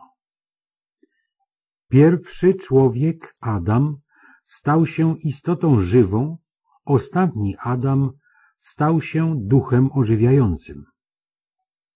Wszakże nie to, co duchowe jest pierwsze, lecz to, co cielesne, potem dopiero duchowe. Pierwszy człowiek jest z prochu ziemi, ziemski. Drugi człowiek jest z nieba. Jaki był człowiek ziemski, tacy są i ziemscy ludzie. Jaki jest niebieski człowiek, tacy są i niebiescy. Przeto jak nosiliśmy obraz ziemskiego człowieka, tak będziemy też nosili obraz niebieskiego człowieka. A powiadam, bracia, że ciało i krew nie mogą odziedziczyć Królestwa Bożego, ani to, co skażone, nie odziedziczy tego, co nieskażone. Oto tajemnicę wam objawiam. Nie wszyscy zaśniemy, ale wszyscy będziemy przemienieni w jednej chwili, w okamgnieniu, na odgłos trąby ostatecznej. Bo trąba zabrzmi i umarli wzbudzeni zostaną jako nieskażeni, a my zostaniemy przemienieni. Albowiem to, co skażone, musi przyoblec się w to, co nieskażone, a to, co śmiertelne, musi przyoblec się w nieśmiertelność. A gdy to, co skażone, przyoblecze się w to, co nieskażone i to, co śmiertelne, przyoblecze się w nieśmiertelność, wtedy wypełni się słowo napisane. Pochłonięta jest śmierć w zwycięstwie. Gdzież jest o śmierci zwycięstwo Twoje? Gdzież jest o śmierci żądło Twoje? A żądłem śmierci jest grzech, a mocą grzechu jest zakon. Ale Bogu niech będą dzięki, który nam daje zwycięstwo przez Pana naszego Jezusa Chrystusa. A tak, bracia moi mili, bądźcie stali, niewzruszeni, zawsze pełni zapału do pracy dla Pana, wiedząc, że trud wasz nie jest daremny w Panu. Rozdział szesnasty A co do składki na świętych, to i wy czyńcie tak, jak zarządziłem w zborach Galacji. Pierwszego dnia w tygodniu niech każdy z was odkłada u siebie i przechowuje to, co może zaoszczędzić, żeby składki wnoszono nie dopiero wtedy, kiedy ja przyjdę. A gdy przyjdę, poślę z listami tych, których uznacie za godnych, aby odnieśli wasz dar do Jerozolimy. A jeśli by uznano za wskazane, żebym i ja się tam udał, pójdą ze mną. a przyjdę do was, gdy przemierzę Macedonię, bo przez Macedonię będę przechodził. U was zaś być może zatrzymam się, albo nawet przezimuję, abyście mnie wyprawili w drogę dokądkolwiek pójdę.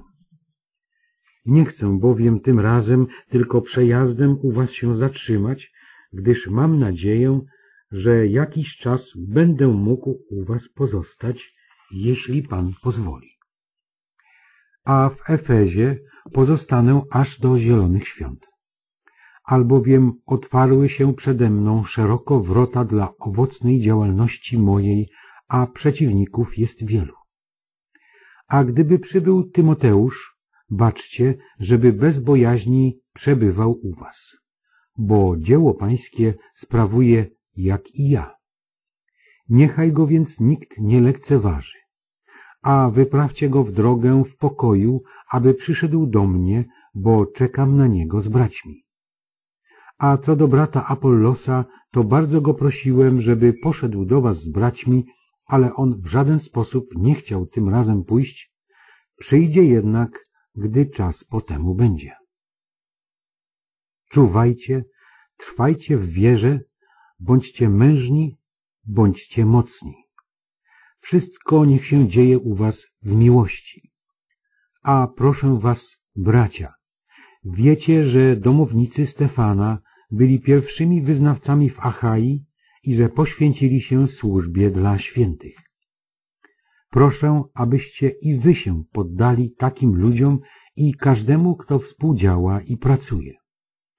A cieszę się z przybycia Stefana i Fortunata i Achajka, bo oni pod waszą nieobecność was zastąpili.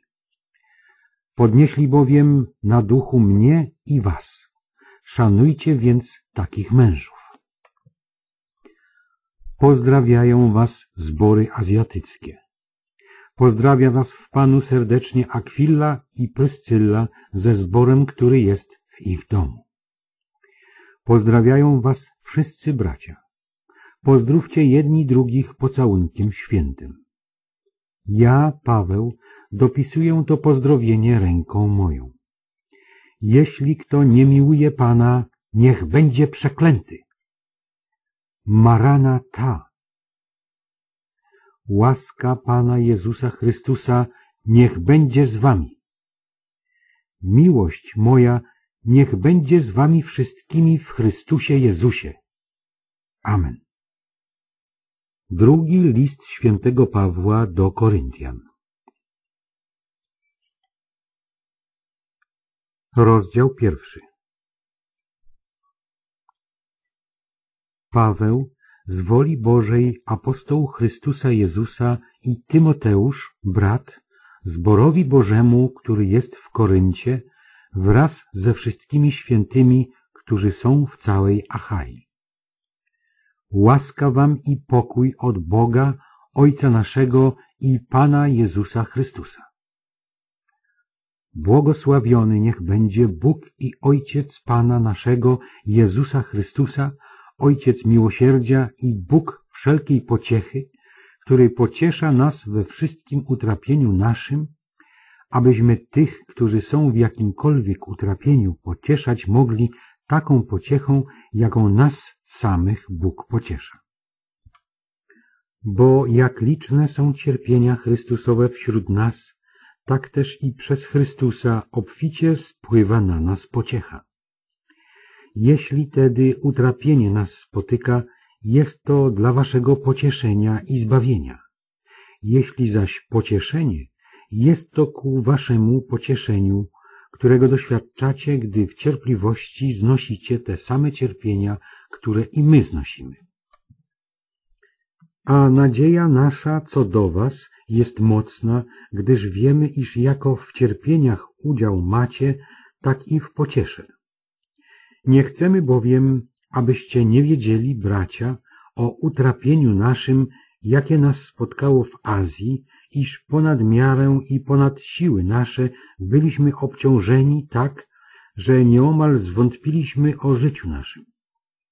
Doprawdy, byliśmy już całkowicie pewni tego, że śmierć nasza jest postanowiona, abyśmy nie na sobie samych polegali, ale na Bogu, który wzbudza umarłych, który z tak wielkiego niebezpieczeństwa śmierci nas wyrwał i wyrwie.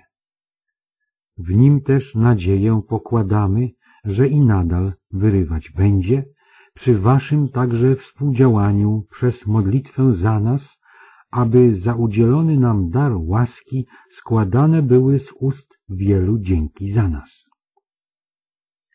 To bowiem jest chlubą naszą. Świadectwo sumienia naszego, że wiedliśmy życie na tym świecie, zwłaszcza zaś między wami w świątobliwości i czystości Bożej, nie w cielesnej mądrości, lecz w łasce Bożej.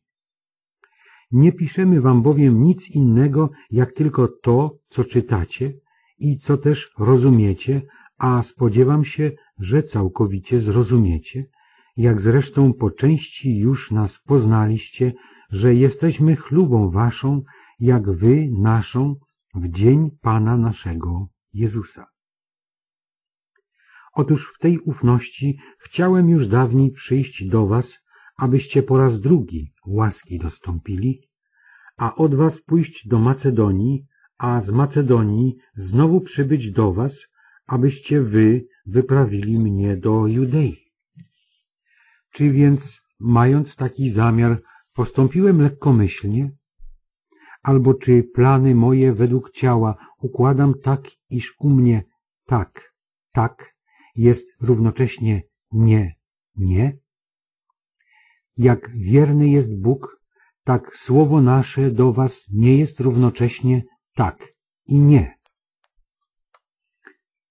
Albowiem Syn Boży Chrystus Jezus, którego wam zwiastowaliśmy, ja i Sylwan i Tymoteusz, nie był równocześnie tak i nie, lecz w nim było tylko tak.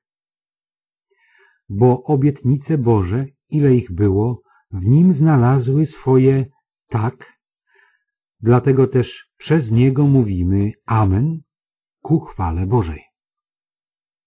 Tym zaś, który nas utwierdza wraz z wami w Chrystusie, który nas namaścił, jest Bóg, który też wycisnął na nas pieczęć i dał zadatek ducha do serc naszych. Ja zaś wzywam Boga na świadka, na duszę moją, że do Koryntu nie przybyłem jeszcze tylko dlatego, że chcę was oszczędzić. Nie jakobyśmy byli panami nad wiarą waszą, ale iż jesteśmy współpracownikami waszymi, abyście radość mieli. Albowiem wiarą stoicie. Rozdział drugi Ja zaś postanowiłem sobie nie przychodzić drugi raz do was ku zasmuceniu. Jeśli bowiem ja was zasmucam, to któż może mnie rozweselić, jak nie ten, który przeze mnie jest zasmucony? A to właśnie napisałem, aby po przybyciu do was nie doznać smutku od tych, którzy mi radość sprawić winni, bo jestem tego pewien, co do was wszystkich, że radość moja jest zarazem radością was wszystkich. Albowiem pisałem do was z głębi utrapienia i zbolałego serca wśród wielu łez, nie abyście zostali zasmuceni, lecz abyście poznali nader obfitą miłość, jaką żywię dla was. Jeśli tedy ktoś zasmucił, to nie mnie zasmucił, lecz poniekąd, by nie powiedzieć za wiele, was wszystkich. Takiemu wystarczy ta kara, jaka została nałożona przez większość, także przeciwnie, wy raczej powinniście przebaczyć mu i dodać otuchy, aby go przypadkiem nadmiar smutku nie pochłonął. Dlatego proszę was, abyście postanowili okazać mu miłość. Po to zresztą i pisałem, aby was wypróbować, czy we wszystkim jesteście posłuszni. Komu zaś wy coś przebaczacie, temu i ja. Gdyż i ja, jeżeli w ogóle miałem coś do przebaczenia, przebaczyłem ze względu na was w obliczu Chrystusa, aby nas szatan nie podszedł. Jego zamysły bowiem są nam dobrze znane. Gdy przybyłem do Troady dla zwiastowania Ewangelii Chrystusowej, a drzwi zastałem otwarte w Panu, nie zaznałem spokoju ducha, bo nie zastałem tam Tytusa, mego brata. To też pożegnawszy się z nimi, odszedłem do Macedonii. Lecz Bogu niech będą dzięki, który nam zawsze daje zwycięstwo w Chrystusie i sprawia, że przez nas rozchodzi się wonność poznania Bożego po całej ziemi. Zaiste, myśmy wonnością Chrystusową dla Boga wśród tych, którzy są zbawieni i tych, którzy są potępieni. Dla jednych jest to woń śmierci ku śmierci, dla drugich woń życia ku życiu. A do tego któż jest zdatny? Bo my nie jesteśmy handlarzami Słowa Bożego, jak wielu innych, lecz mówimy w Chrystusie przed obliczem Boga jako ludzie szczerzy, jako ludzie mówiący z Boga. Rozdział trzeci Czy znowu zaczynamy polecać samych siebie? Alboż to potrzebujemy, jak niektórzy, listów polecających do was albo od was? Wy jesteście listem naszym, napisanym w sercach naszych, znanym i czytanym przez wszystkich ludzi. Wiadomo przecież, że jesteście listem Chrystusowym sporządzonym przez nasze usługiwanie, napisanym nie atramentem, ale duchem Boga żywego, nie na tablicach kamiennych, lecz na tablicach serc ludzkich. A taką ufność mamy przez Chrystusa ku Bogu, nie jakobyśmy byli zdolni pomyśleć coś sami z siebie i tylko z siebie, lecz zdolność nasza jest z Boga, który też uzdolnił nas, abyśmy byli sługami nowego przymierza nie litery, lecz ducha, bo litera zabija, duch zaś ożywia.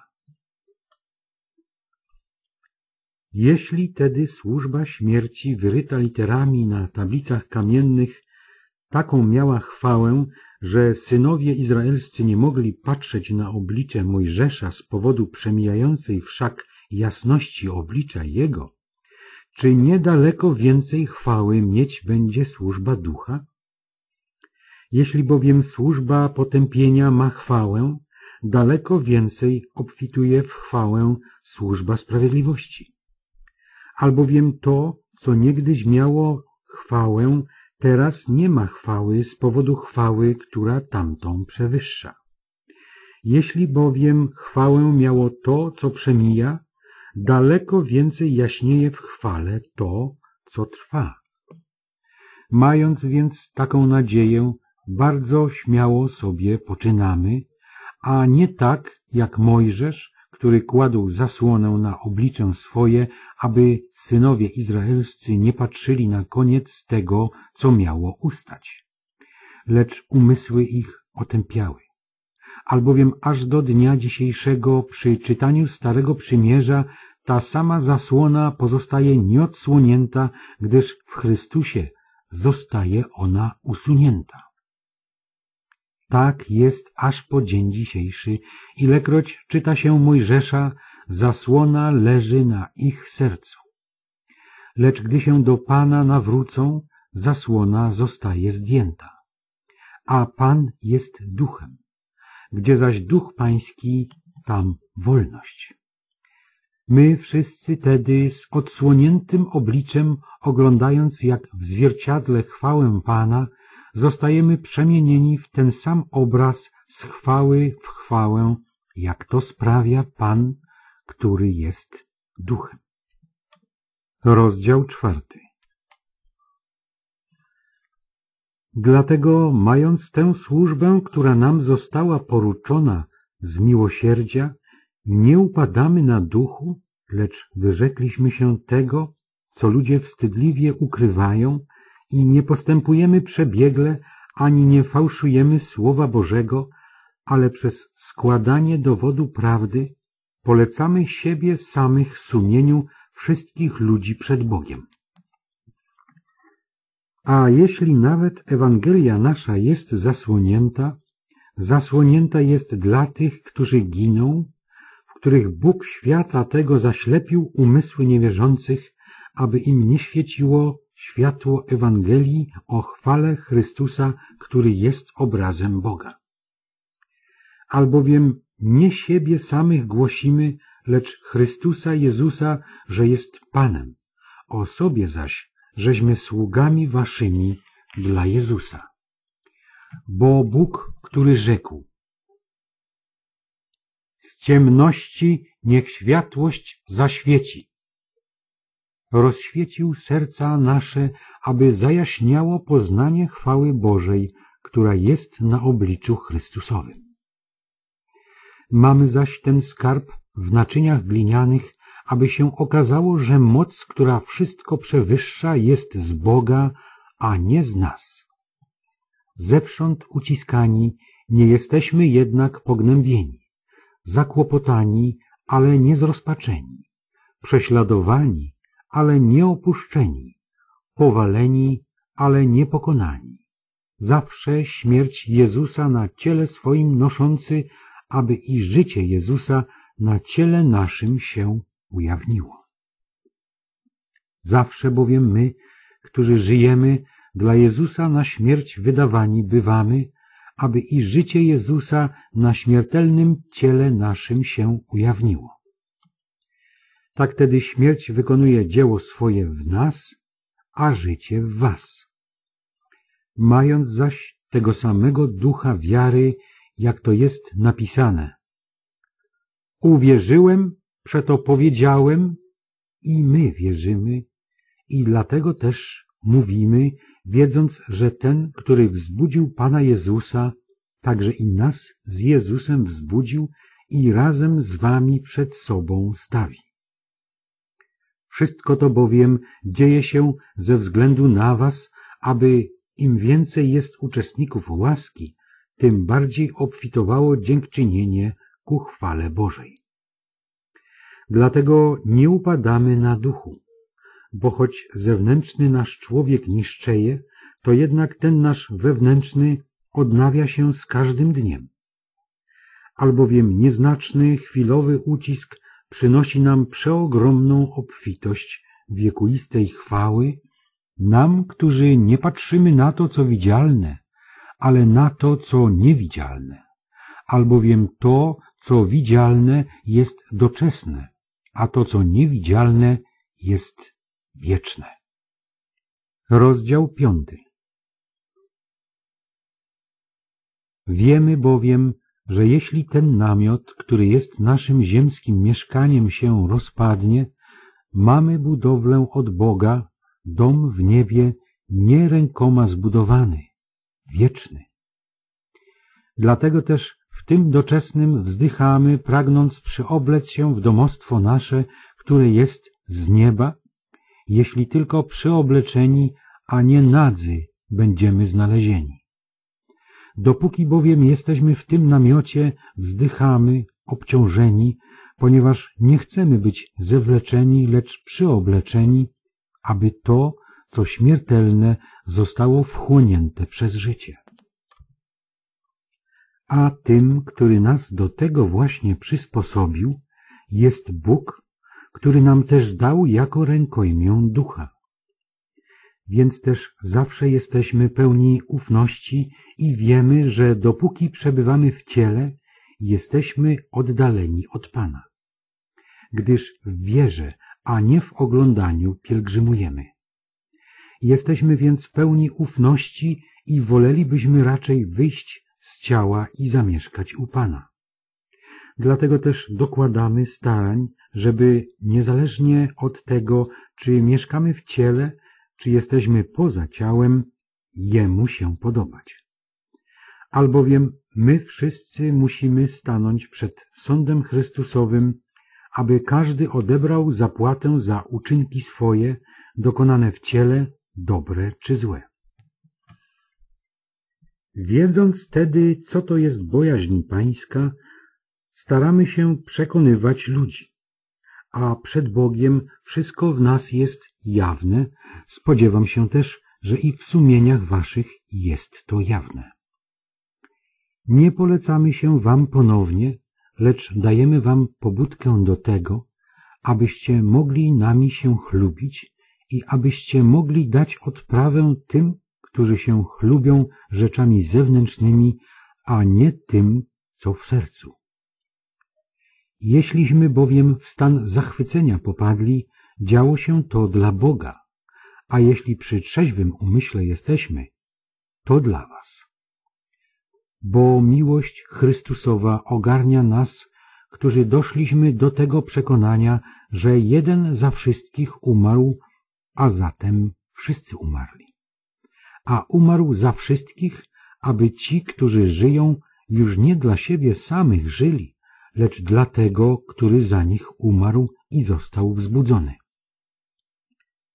Dlatego już odtąd nikogo nie znamy według ciała, a jeśli znaliśmy Chrystusa według ciała, to teraz już nie znamy.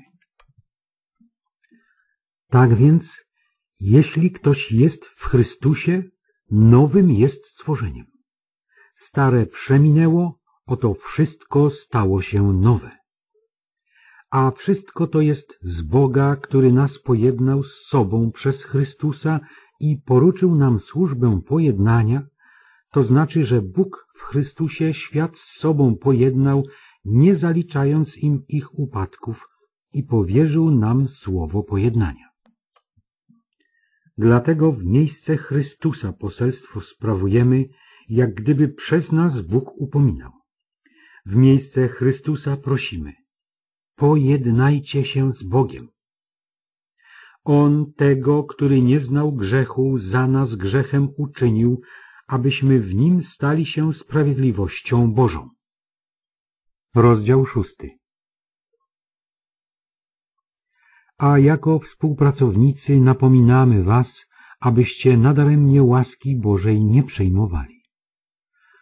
Mówi bowiem, w czasie łaski wysłuchałem Cię, a w dniu zbawienia pomogłem Ci. Oto teraz czas łaski. Oto teraz dzień zbawienia. Nie dajemy w niczym żadnego zgorszenia, aby służba nasza nie była zniesławiona, ale we wszystkim okazujemy się sługami Bożymi w wielkiej cierpliwości, w uciskach, w potrzebach, w utrapieniach, w chłostach, w więzieniach, w niepokojach, w trudach, w czuwaniu, w postach, w czystości, w poznaniu, w wielkoduszności, w uprzejmości, w duchu świętym, w miłości nieobłudnej, w słowie prawdy, w mocy Bożej, przez oręż sprawiedliwości ku natarciu i obronie, przez chwałę i hańbę, przez zniesławienie i przez dobrą sławę, jako zwodziciele, a jednak prawi, jako nieznani, a jednak znani, jako umierający, a oto żyjemy, jako karani, a jednak niezabici, jako zasmuceni, ale zawsze weseli, jako ubodzy, jednak wielu ubogacający, jako nic nie mający, a jednak wszystko posiadający. Usta nasze otwarły się przed wami, Koryntianie, serce nasze szeroko się otwarło. Nie u nas jest wam ciasno, ale ciasnota jest w sercach waszych. Ponieważ zaś należy się odwzajemniać, przeto jak do dzieci mówię, rozszerzcie i wy serca wasze. Nie chodźcie w obcym jarzmie z niewiernymi, bo co ma wspólnego sprawiedliwość z nieprawością, albo jakaż społeczność między światłością a ciemnością? Albo jaka zgoda między Chrystusem a Belialem? Albo co za dział ma wierzący z niewierzącym? Jakiż układ między świątynią Bożą a bałwanami? Myśmy bowiem świątynią Boga żywego, jak powiedział Bóg. Zamieszkam w nich i będę się przechadzał pośród nich i będę Bogiem ich, a oni będą ludem moim. Dlatego wyjdźcie spośród nich i odłączcie się, mówi Pan, a nieczystego się nie dotykajcie. A ja przyjmę was i będę wam ojcem, a wy będziecie mi synami i córkami, mówi Pan Wszechmogący. Rozdział siódmy Mając tedy te obietnice, umiłowani, oczyśćmy się od wszelkiej zmazy ciała i ducha, dopełniając świątobliwości swojej w bojaźni Bożej. Zróbcie miejsce dla nas w sercach waszych. Nikogo nie skrzywdziliśmy, nikogo nie zepsuliśmy, nikogo nie oszukaliśmy. Nie mówię tego, aby potępiać, bo już uprzednio powiedziałem, iż w sercach naszych jesteście na śmierć i życie.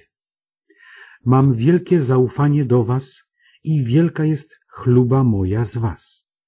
Pełen jestem pociechy i nader obfita jest radość moja we wszelkim ucisku naszym. Bo nawet wtedy, gdy przybyliśmy do Macedonii, ciało nasze nie zaznało żadnego odpoczynku, lecz zewsząd byliśmy uciśnieni walkami zewnątrz, obawami od wewnątrz. Lecz ten, który pociesza uniżonych, Bóg pocieszył nas przez przybycie Tytusa. A nie tylko przez jego przybycie, lecz i przez pociechę, jakiej doznał u was, gdy opowiadał nam o waszej tęsknocie za nami, o waszej żałości i o waszej gorliwości względem mnie, tak iż jeszcze bardziej się radowałem. Bo jeśli nawet listem was zasmuciłem, nie żałuję tego, a jeślim nawet żałował, widzę bowiem, że ów list zasmucił was przynajmniej na chwilę, teraz jednak cieszę się nie dlatego, że byliście zasmuceni, ale że byliście zasmuceni ku upamiętaniu, Zasmuceni bowiem byliście po Bożemu, także w niczym nie ponieśliście szkody z naszej strony. Albowiem smutek, który jest według Boga, sprawia upamiętanie ku zbawieniu i nikt go nie żałuje. Smutek zaś światowy sprawia śmierć. Patrzcie, co ten wasz smutek według Boga sprawił, jaką gorliwość, jakie uniewinnianie się, jakie oburzenie, jaką obawę, jaką tęsknotę, jaki zapał, jaką karę. Pod każdym względem okazaliście się czystymi w tej sprawie.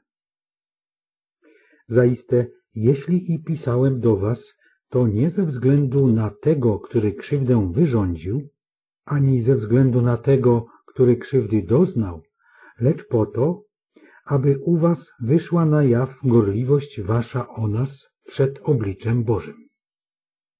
Dlatego ucieszyliśmy się. A w tej naszej pociesze jeszcze więcej ucieszyła nas radość Tytusa, iż został na duchu pokrzepiony przez was wszystkich. Bo jeśli przed nim chlubiłem się nieco wami, nie zostałem zawstydzony, lecz jak wam we wszystkim mówiliśmy prawdę, tak i chluba nasza przed Tytusem okazała się prawdą.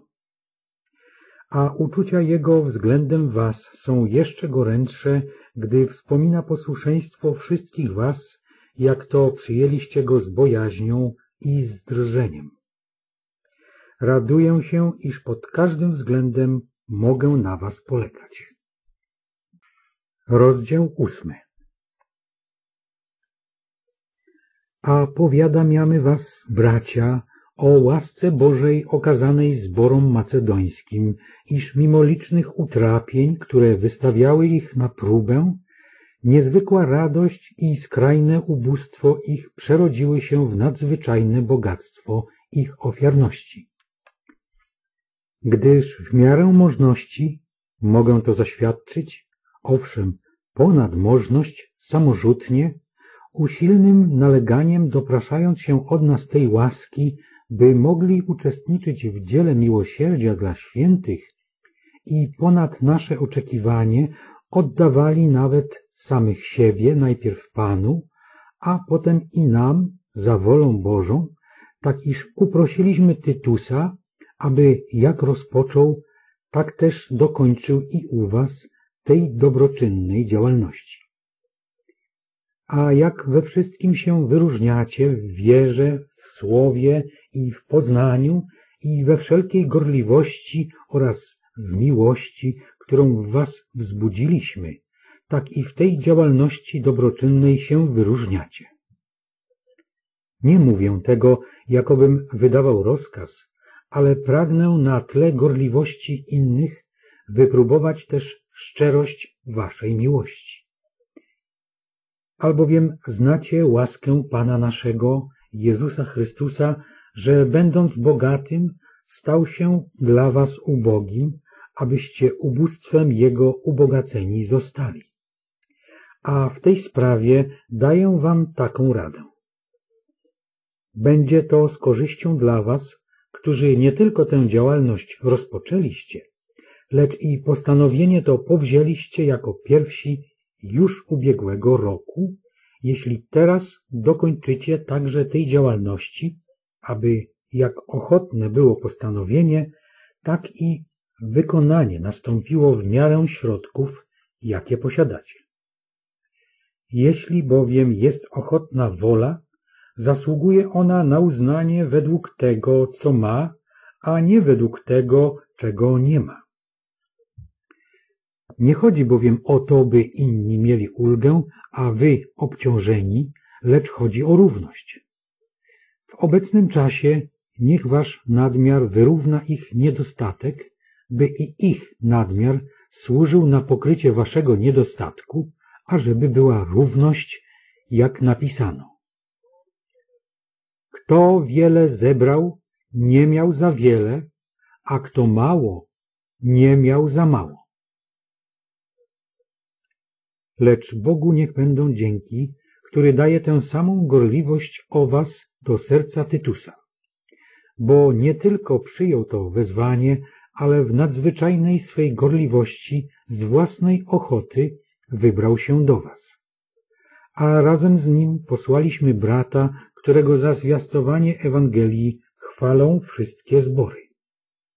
Lecz nie tylko to, bo został on wyznaczony przez zbory na uczestnika podróży naszej w tym dziele miłosierdzia, którym pragniemy służyć ku chwale samego Pana i ku okazaniu naszej gorliwości, zapobiegając temu, aby nas ktoś nie obmawiał w związku z hojnym darem, którym pragniemy usłużyć. Staramy się bowiem o to, co dobre nie tylko przed Panem, ale i przed ludźmi. Posłaliśmy też z nimi brata naszego, którego gorliwość wypróbowaliśmy często w wielu sprawach, a który teraz jest jeszcze gorliwszy, ponieważ ma wielkie zaufanie do was. Co do Tytusa, jest on moim towarzyszem i współpracownikiem wśród was. Co zaś do naszych braci, są oni posłańcami zborów, chwałą Chrystusową. Okażcie im przeto swoją miłość i potwierdźcie przed zborami, żeście chlubą naszą. Rozdział dziewiąty Zbyteczną zaś jest rzeczą, bym do was pisał o dziele miłosierdzia dla świętych. Znam bowiem ochotną wolę waszą, z powodu której chlubię się wami przed Macedończykami, mówiąc, że Achaja już od zeszłego roku jest gotowa. I gorliwość wasza zachęciła wielu z nich.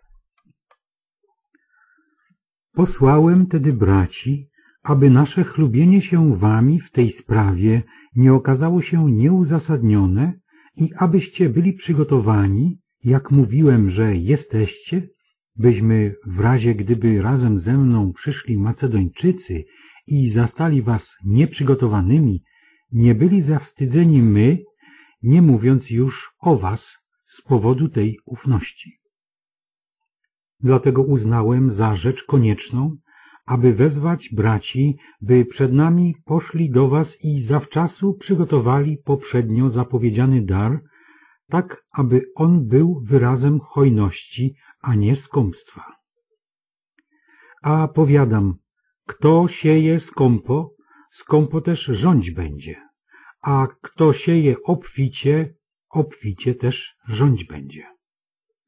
Każdy tak jak sobie postanowił w sercu, nie z żalem albo z przymusu, gdyż ochotnego dawcę Bóg miłuje. A władny jest Bóg udzielić wam obficie wszelkiej łaski, abyście, mając zawsze wszystkiego pod dostatkiem, mogli hojnie łożyć na wszelką dobrą sprawę, jak napisano. Szczodrze rozdaje, udziela ubogim, sprawiedliwość Jego trwa na wieki. A ten, który daje ziarno siewcy i chleb na pokarm, da i pomnoży zasiew wasz i przysporzy owoców sprawiedliwości waszej. A tak ubogaceni we wszystko będziecie mogli okazywać wszelką szczodrobliwość, która za naszym przyczynieniem pobudza do dziękczynienia Bogu. Bo sprawowanie tej służby nie tylko wypełnia braki u świętych, lecz wydaje też obfity plon w licznych dziękczynieniach składanych Bogu. Doznawszy dobrodziejstwa tej służby, chwalić będą Boga za to, że podporządkowujecie się wyznawanej przez siebie Ewangelii Chrystusowej i za szczerą wspólnotę z nimi i ze wszystkimi. A modląc się za was, tęsknić będą za wami z powodu nader obfitej łaski Bożej, która spływa na was. Bogu niech będą dzięki za niewysłowiony dar Jego. Rozdział dziesiąty A ja sam, Paweł, napominam was przez cichość i łagodność Chrystusową, ja, który, gdy jestem u was osobiście, rzekomo jestem pokorny, a gdym daleko, jestem ponoć śmiały wobec was. Proszę was tedy, abym po przybyciu do was nie musiał okazywać tej stanowczej śmiałości, z jaką zamierzam ostro wystąpić przeciwko niektórym, pomawiającym nas o to, że prowadzimy cielesny sposób życia. Bo chociaż żyjemy w ciele, nie walczymy cielesnymi środkami gdyż oręż nasz, którym walczymy, nie jest cielesny, lecz ma moc burzenia warowni dla sprawy Bożej. Nim też unicestwiamy złe zamysły i wszelką pychę podnoszącą się przeciw poznaniu Boga i zmuszamy wszelką myśl do poddania się w posłuszeństwo Chrystusowi, gotowi do karania wszelkiego nieposłuszeństwa gdy posłuszeństwo wasze będzie całkowite. Patrzcie na to, co oczywiste. Jeśli ktoś jest przekonany, że jest Chrystusowy, niech też i to rozważy sam w sobie, że tak jak On jest Chrystusowy, tak i my. Bo choćbym się nawet nieco więcej chlubił władzą naszą, jaką nam Pan dał, aby was budować, a nie niszczyć, nie będę zawstydzony lecz nie chcę, by wyglądało, że was straszę listami, bo powiadają. Listy wprawdzie ważkie są i mocne, lecz jego wygląd zewnętrzny lichy, a mowa do niczego. Kto tak mówi, niech zważy, że jakimi jesteśmy w słowie przekazanym listownie pod nieobecność, takimi też będziemy w czynie, gdy będziemy obecni. Nie ośmielamy się bowiem zaliczać siebie do niektórych lub porównywać się z niektórymi spośród tych, którzy siebie samych zalecają. Nie mają bowiem rozumu, jeśli do siebie swoją własną miarę przykładają i siebie z samymi sobą porównują. My zaś nadmiarę chlubić się nie będziemy, lecz tylko w tej mierze, jaką nam Bóg wyznaczył byśmy mogli dotrzeć aż do was. Bo my nie przekraczamy wyznaczonych nam granic, jakby to było, gdyby one nie sięgały aż do was, bo wszak pierwsi dotarliśmy aż do was z Ewangelią Chrystusową. My nie chlubimy się cudzą pracą poza obrębem naszego działania, lecz mamy raczej nadzieję, że wraz ze wzrostem wiary waszej i my wśród was w obrębie wyznaczonych nam granic zyskamy wielkie uznanie i że zwiastować będziemy dobrą nowinę także poza waszym krajem, nie chlubiąc się tym, czego już dokonano na cudzym polu działania. Kto się tedy chlubi, w Panu niechaj się chlubi. Albowiem nie ten, kto samego siebie zaleca, jest wypróbowany, ale ten, kogo Pan poleca. Rozdział jedenasty Obyście umieli znieść odrobinę niedorzeczności z mojej strony.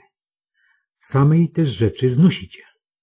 Zabiegam bowiem o was z gorliwością Bożą, albowiem zaręczyłem was z jednym mężem, aby stawić przed Chrystusem dziewicę czystą.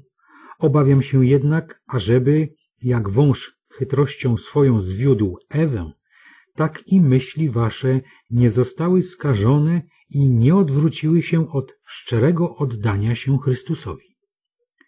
Bo gdy przychodzi ktoś i zwiastuje innego Jezusa, którego myśmy nie zwiastowali, lub gdy przyjmujecie innego ducha, którego nie otrzymaliście, lub inną Ewangelię, której nie przyjęliście, znosicie to z łatwością. Lecz uważam, że ja w niczym nie ustępuję tym arcyapostołom. Choć tedy jestem prostakiem w mowie, to jednak nie w poznaniu. Owszem, okazaliśmy je przed wami wszystkimi pod każdym względem. Albo czy popełniłem grzech, poniżając siebie samego, abyście wy byli wywyższeni, że za darmo zwiastowałem wam Ewangelię?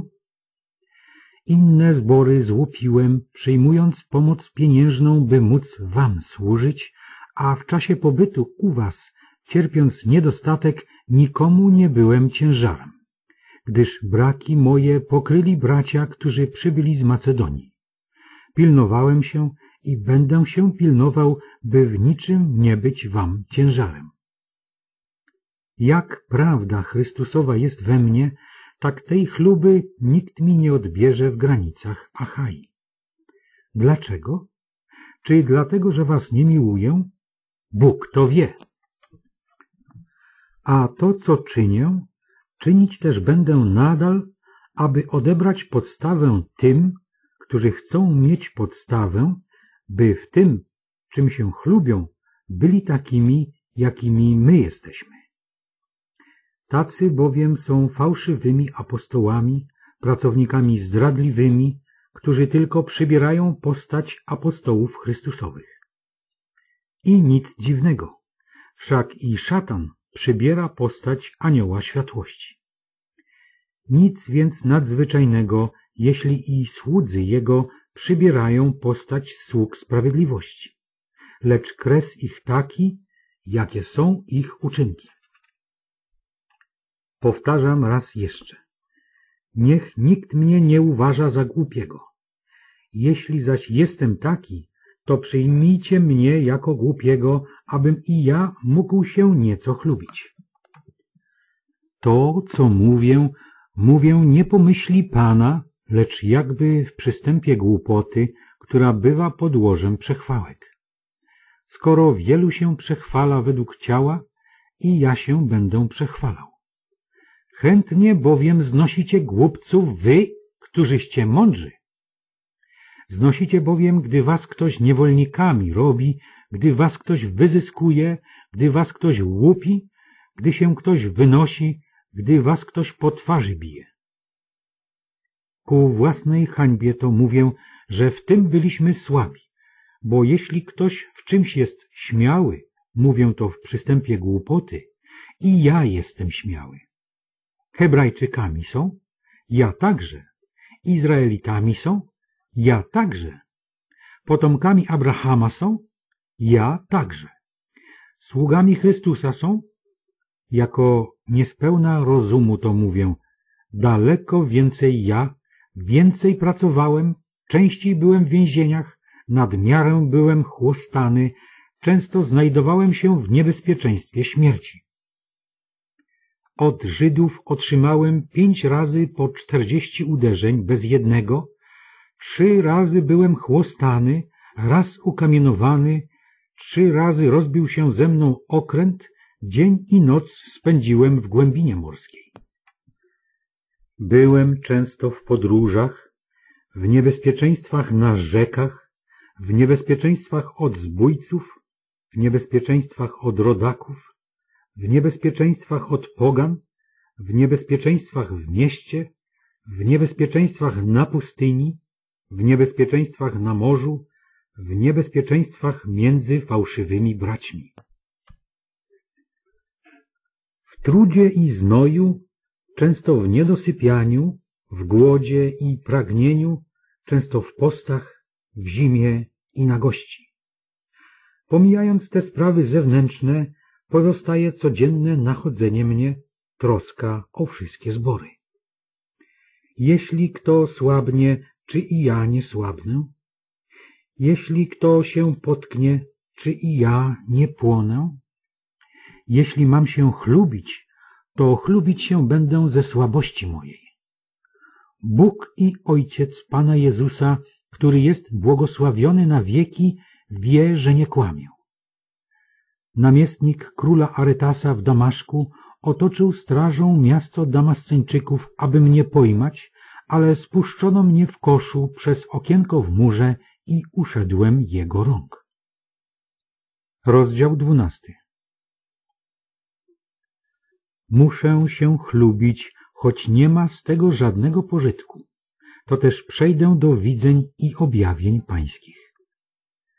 Znałem człowieka w Chrystusie, który przed czternastu laty, czy to w ciele było, nie wiem, czy poza ciałem, nie wiem, Bóg wie, został uniesiony w zachwyceniu aż do trzeciego nieba. I wiem, że ten człowiek, czy to w ciele było, czy poza ciałem, nie wiem, Bóg wie, został uniesiony w zachwyceniu do raju i słyszał niewypowiedziane słowa, których człowiekowi nie godzi się powtarzać. Z takiego chlubić się będę, ale z siebie samego chlubić się nie będę, chyba tylko ze słabości moich. Bo jeśli nawet zechcę się chlubić, nie będzie to przechwałka głupiego, bo prawdą będzie to, co powiem. Lecz wstrzymuję się, aby ktoś nie myślał o mnie więcej ponad to, co u mnie widzi lub co ode mnie słyszy. Bym się więc z nadzwyczajności objawień zbytnio nie wynosił, wbity został cierń w ciało moje, jakby posłaniec szatana by mnie policzkował, abym się zbytnio nie wynosił. W tej sprawie trzy razy prosiłem Pana, by on odstąpił ode mnie. Lecz powiedział do mnie, dosyć masz, gdy masz łaskę moją, albowiem pełnia mej mocy okazuje się w słabości.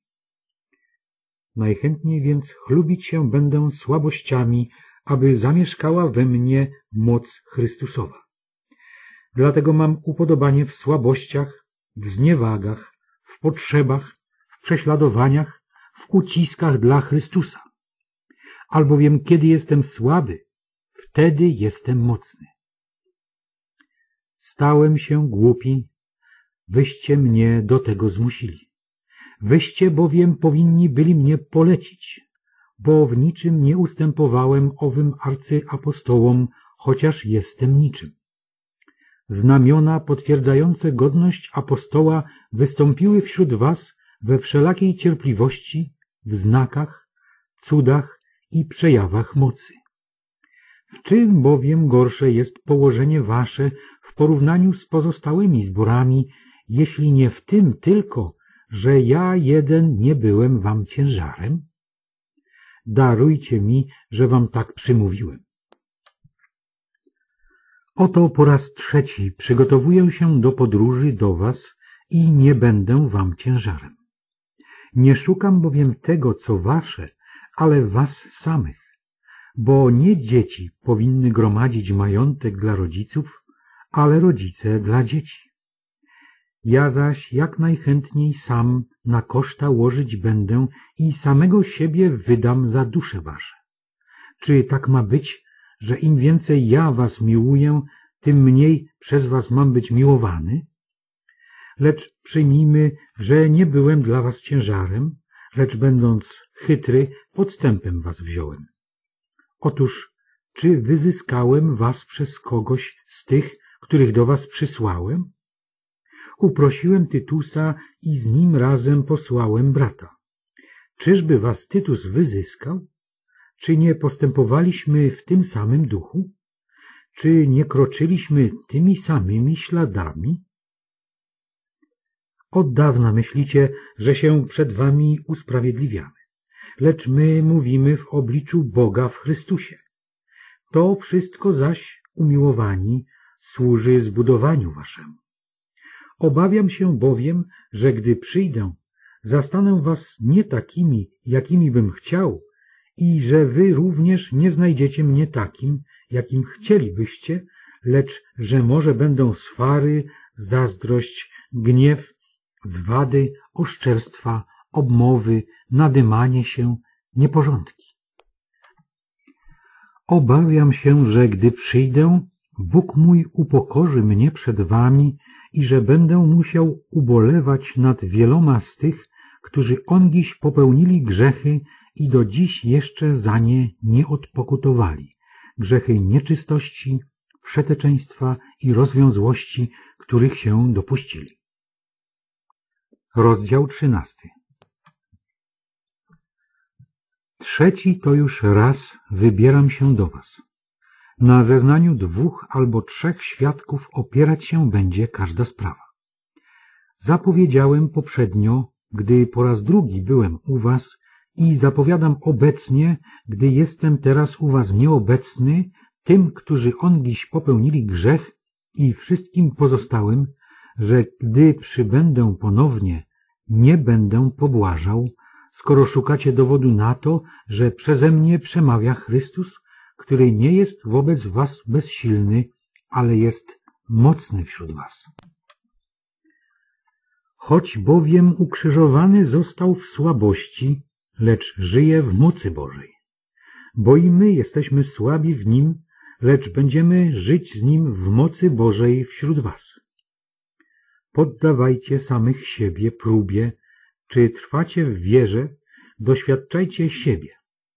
Czy nie wiecie o sobie, że Jezus Chrystus jest w was? Chyba, żeście próby nie przeszli. Spodziewam się zaś, że dowiecie się, iż my przebyliśmy próbę. A modlimy się do Boga o to, abyście nic złego nie czynili nie dlatego, byśmy uchodzili za wypróbowanych, lecz abyście wyczynili to, co jest dobre, choćbyśmy mieli uchodzić za niewypróbowanych. Nie możemy bowiem nic uczynić przeciwko prawdzie, ale dla prawdy. Cieszymy się bowiem, gdyśmy słabi, a wy mocni. Oto też się modlimy o doskonałość waszą. Dlatego, ponieważ jestem nieobecny u was, piszę to, abym za przybyciem moim do was nie musiał postąpić surowo na podstawie pełnomocnictwa, jakie Pan dał mi ku zbawieniu, a nie ku burzeniu. W końcu, bracia, bądźcie zdrowi, doskonalcie się, weźcie sobie napomnienie do serca, bądźcie jednomyślni, zachowujcie pokój, a Bóg miłości i pokoju będzie z wami. Pozdrówcie się nawzajem pocałunkiem świętym. Pozdrawiają was wszyscy święci. Łaska Pana Jezusa Chrystusa i miłość Boga i społeczność Ducha Świętego niech będzie z wami wszystkimi.